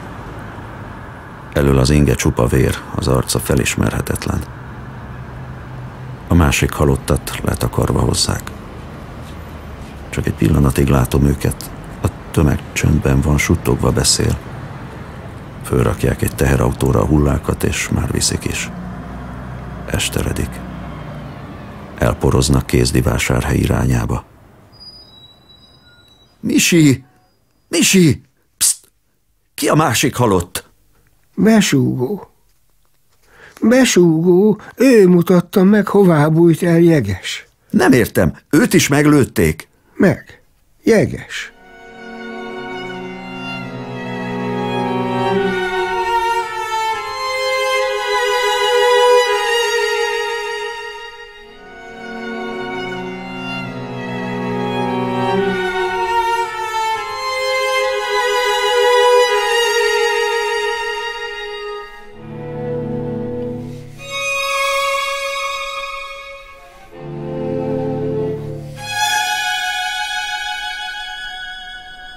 Ebben a pillanatban megláttam Román Gyuri hadnagyot jönni kifelé az udvarból. Megismertem, mert ő vallatott a szekuritátén. A szekus, aki magyarnak született, de román akar lenni. Suttogják, hogy az ott mellette a jeges apja. Őt hozták azonosítani a hullát. Amikor először találkoztam jegessel a Kászoni erdőben, egy kunyhóban, ahová az eső elől húzódtam be, azt mondta, nincsen apja se anyja. Gyakran jártam gombászni. Ez az én kunyhóm. Mit keres itt? Megjavíthatnád a tetejét, mert uh-huh. a nyakamba csurog a víz. Mit keres erre felé? Gombát. Még senkivel sem találkoztam az erdőnek ezen a részén. Vadászol, mi? És ha igen? Nem láttam vadat erre. Túl sűrű az erdő. Sokat okoskodik. Megjavítom a bakancsodat, ha akarod. Nem kell, hogy megjavítsa. Azzal az egyik hátizsák tartalmát a földre borította. Nem csak bakancsok voltak benne, hanem fényképezőgépek, két könyv, pénztárcák, egy kisebb rádió. Jól bevásároltál, nem mondom. Öreg, vegyen el maga is valamit. Elég nekem a gombát cipelni. Fényképezőgép. Tavaly Csíkszeredában már lefotóztak. Konyak. Vigyék. Ittunk. Jeges egyre közlékenyebb lett. Aztán tudja-e, honnan van ez a sok holmi? Már megtartották a búcsút. A Szent Annatónál szereztem. Kirakodó vásár volt. Megkértem az embereket, hogy rakják ki, amiük van. volt ott egy szekus is. Belerugdostam a vízbe. Jól összebarátkoztunk. Ott maradtunk éjszakára is a kunyhóban, mert az eső nem akart elállni. Reggel összepakoltam, és indulni készültem. Van valamennyi pénzem, vegye magához. Banknak nézel? Tartsa magánál, dugja el, majd jelentkezem. Nem bánom, de kamatra ne számíts. Elváltunk. Utána még találkoztunk néhányszor, amikor a szekuritáté letartóztatott, a pénzt is megtalálták. Ez volt a fő vádpontjuk ellenem, hogy banditákat pénzelek.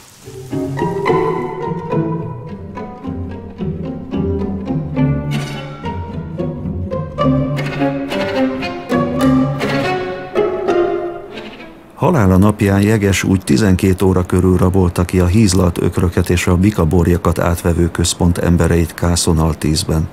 Az emberek, akik kora hajnaltól hosszú sort álltak ki, és pénzt reméltek a kinkeservel nevelt állatokért, kiabálni kezdtek, és néhányan szídni kezdték Jegest. Ahogy Jeges távozott, értesítették a miliciát. Kászonúj falu irányába látták menekülni a mezőn át. Azt mondják az emberek, hogy kereste, hogy végre elkapják, mert ha az erdő felé szalad, biztos megszabadul. Egyszer engem is felkeresett télvíz idején a műhelyemben.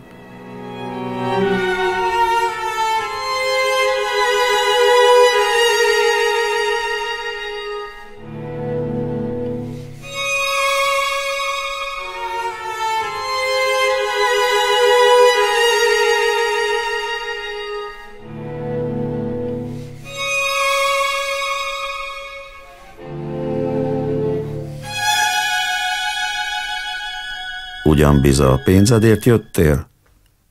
Odaadom az egészet egy tál meleg levesért. Nem vagy te Ézsau, én sem izsák.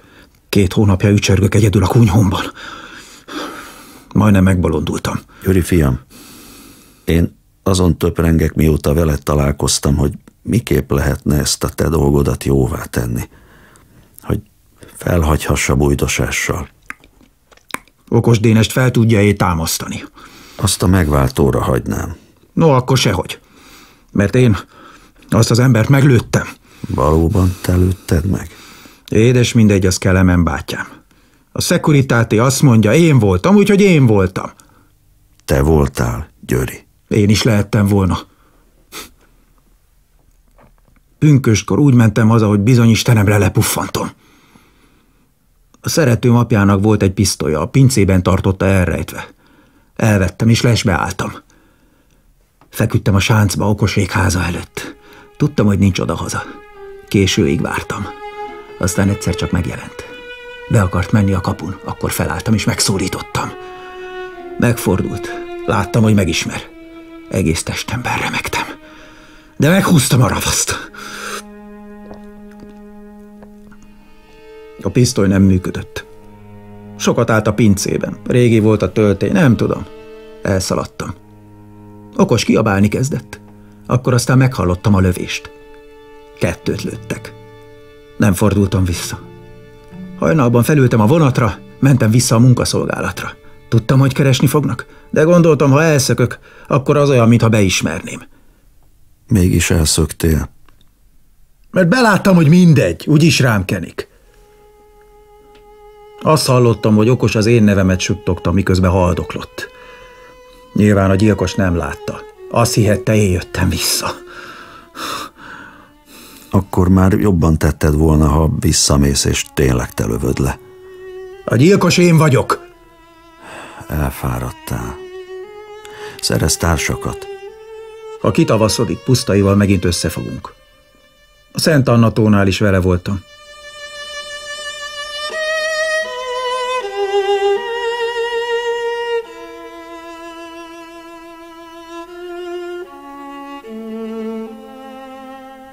Megbeszéltünk egy üzenethagyó helyet, havonta egyszer arra jártam, de ritkán találtam valamit.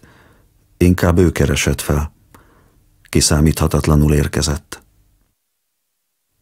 Pusztai halála után már nem is láttam, csak holtam borbátéknál. Másnap feküdtem az ágyamon, szokás szerint vártam Misit, amikor nyílt az ajtó.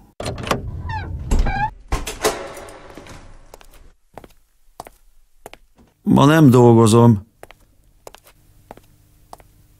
Amennyire tudtam, felemeltem a fejem, és akkor megláttam Román Gyurit. Az ördögtől nem ijedtem volna meg ennyire. Maradjon csak fekve. Nem tudtam, hogy gúnyolódik rajtam, vagy tényleg nem tudja, hogy lebénultam. Így akar elvitetni? Az ügynek vége. Jegest megfogtuk. Akkor mit akar? Magát nem nyugtalanítja, hogy nem az erdő felé menekült? Ha üldözik, a róka sem az odúja felé fut. Ez igaz, de szerintem magához tartott. Hát, nem ért ide. Valóban nincs jelentősége. Két éve dolgozom a pusztai banda elfogásán, és most a végére értünk. Mindhármuk közül jegest gyűlöltem a leginkább. Tudja miért? Mert amikor végre Pusztai Ferenc halálával lezártuk volna az ügyet, kiderült, hogy van egy harmadik ember is. Ez a maga győrie. Nem ő lőtte le okos Dénest. Erről nem dönthetek. Mit akar tőlem? Bukarestből átvilágítanak bennünket. A túlkapások érdeklik őket. Túlkapások? Bűnbakot kell találni. Stálin halála óta megváltoztak a dolgok. Én világéletemben román akartam lenni. Maga úgy döntött, román lesz. Azok ott fenn pedig úgy, hogy maga már pedig magyar. Ha akkor pusztai halálával lezárult volna az ügy, akkor ez sem számítana, mert nem lett volna átvilágítás. Akkor még nem. Amikor Béla falván megölték a két milicistát, és engem is kiküldtek a helyszínre, madarat lehetett volna fogatni velem. Azt gondoltam, hogy most már vége az irodai könyöklésnek. Ezzel tényleg előreléphetek, és elfeledtethetem mindenkivel, hogy nem vagyok román. Nem vagyok román. Magyarok öltek meg román milicistákat. Ez már valami gondoltam. Ez kell nekem. Érti, amit mondok? Bár csak ne értettem volna. Román Gyuri a szoba közepén állt maga elé meredve beszélt. Nem tudtam a következő pillanatban mit fog tenni. Eszembe jutott még egy beszélgetés jegessel. Te, mit gondolsz? Hogy fognak rátok emlékezni? Mm. Mm. Az attól függ, milyen véget érünk. Dézsit azóta sem tudják, hová temették. Milyen végre vársz? De mindenki emlékszik rá. Vannak, akik káromkodva. Az a milicista is. Magyar létére beállt rendőrnek. Az emberek élni akarnak. Bármi áron. Ezek el fognak törülni titeket a föld színéről. Pusztai partizánnak mondja magát. Ellenállónak. És te? Hm. Én csak vele tartok. Mondjon, amit akar.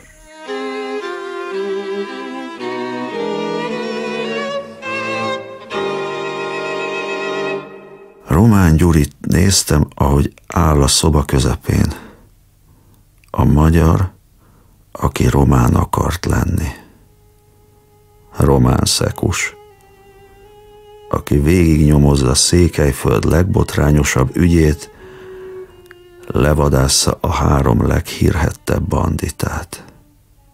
És akit végül bűnbakká nevez ki Bukarest a túlkapások miatt, mert odafent a fővárosban vezetőcserék idején mindig rendet akarnak tenni. A magyar, akinek végül nem sikerült románná válnia. Elviszem valahová. Meg sem szólalhattam. Megfogott és beültetett a talicskába. A falu széle felé tartottunk.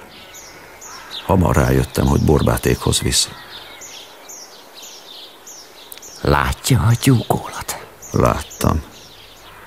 Lyukacsossá volt lőve. Az udvar földjén még látszott a vér.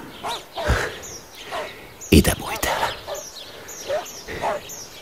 Élve akartam elfogni, mert kíváncsi lettem volna pár dologra. De ezek már mind-mind mellékesek. Vigyen haza. Azonnal. Kérni szeretnék valamit. Itt van ez a papír. Az áll benne, hogy magát vadász baleset érte. Gombászás közben. Ugye, szeret gombászni. Azt szeretné, hogy aláírjam? Nem kötelező. Vigyen haza. Mindjárt itt lesz Misi. Érte küldettem. Vigyen haza. Misi! Misi! Akkor nem írja alá?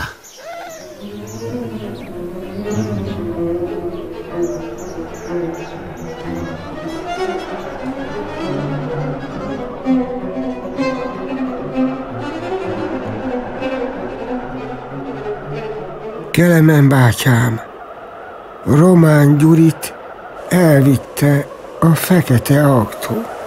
Vigyél haza. Hé, a, a, a sapkám! A krivöc. Megérkezett a krivöc. Havazni fog. Menjünk.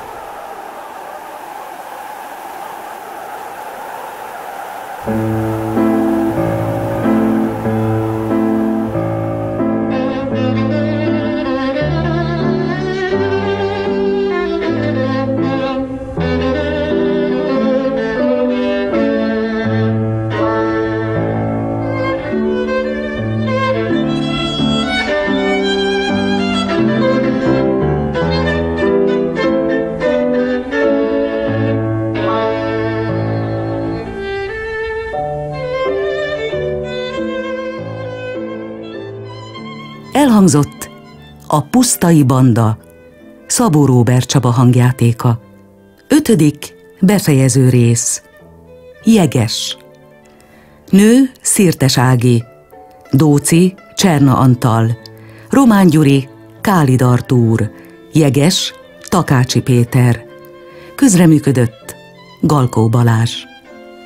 Hangmérnök Kis Attila, zenei szerkesztő Hortobágyi László, rádióra alkalmazta és rendezte Szikszai Rémusz és Surányi András. Készült a médiatanács támogatásával a Magyar Média Mecenatúra program keretében. A felvételt a Magyar Rádió Nonprofit ZRT megrendelésére a Kaneta produkció készítette 2015-ben.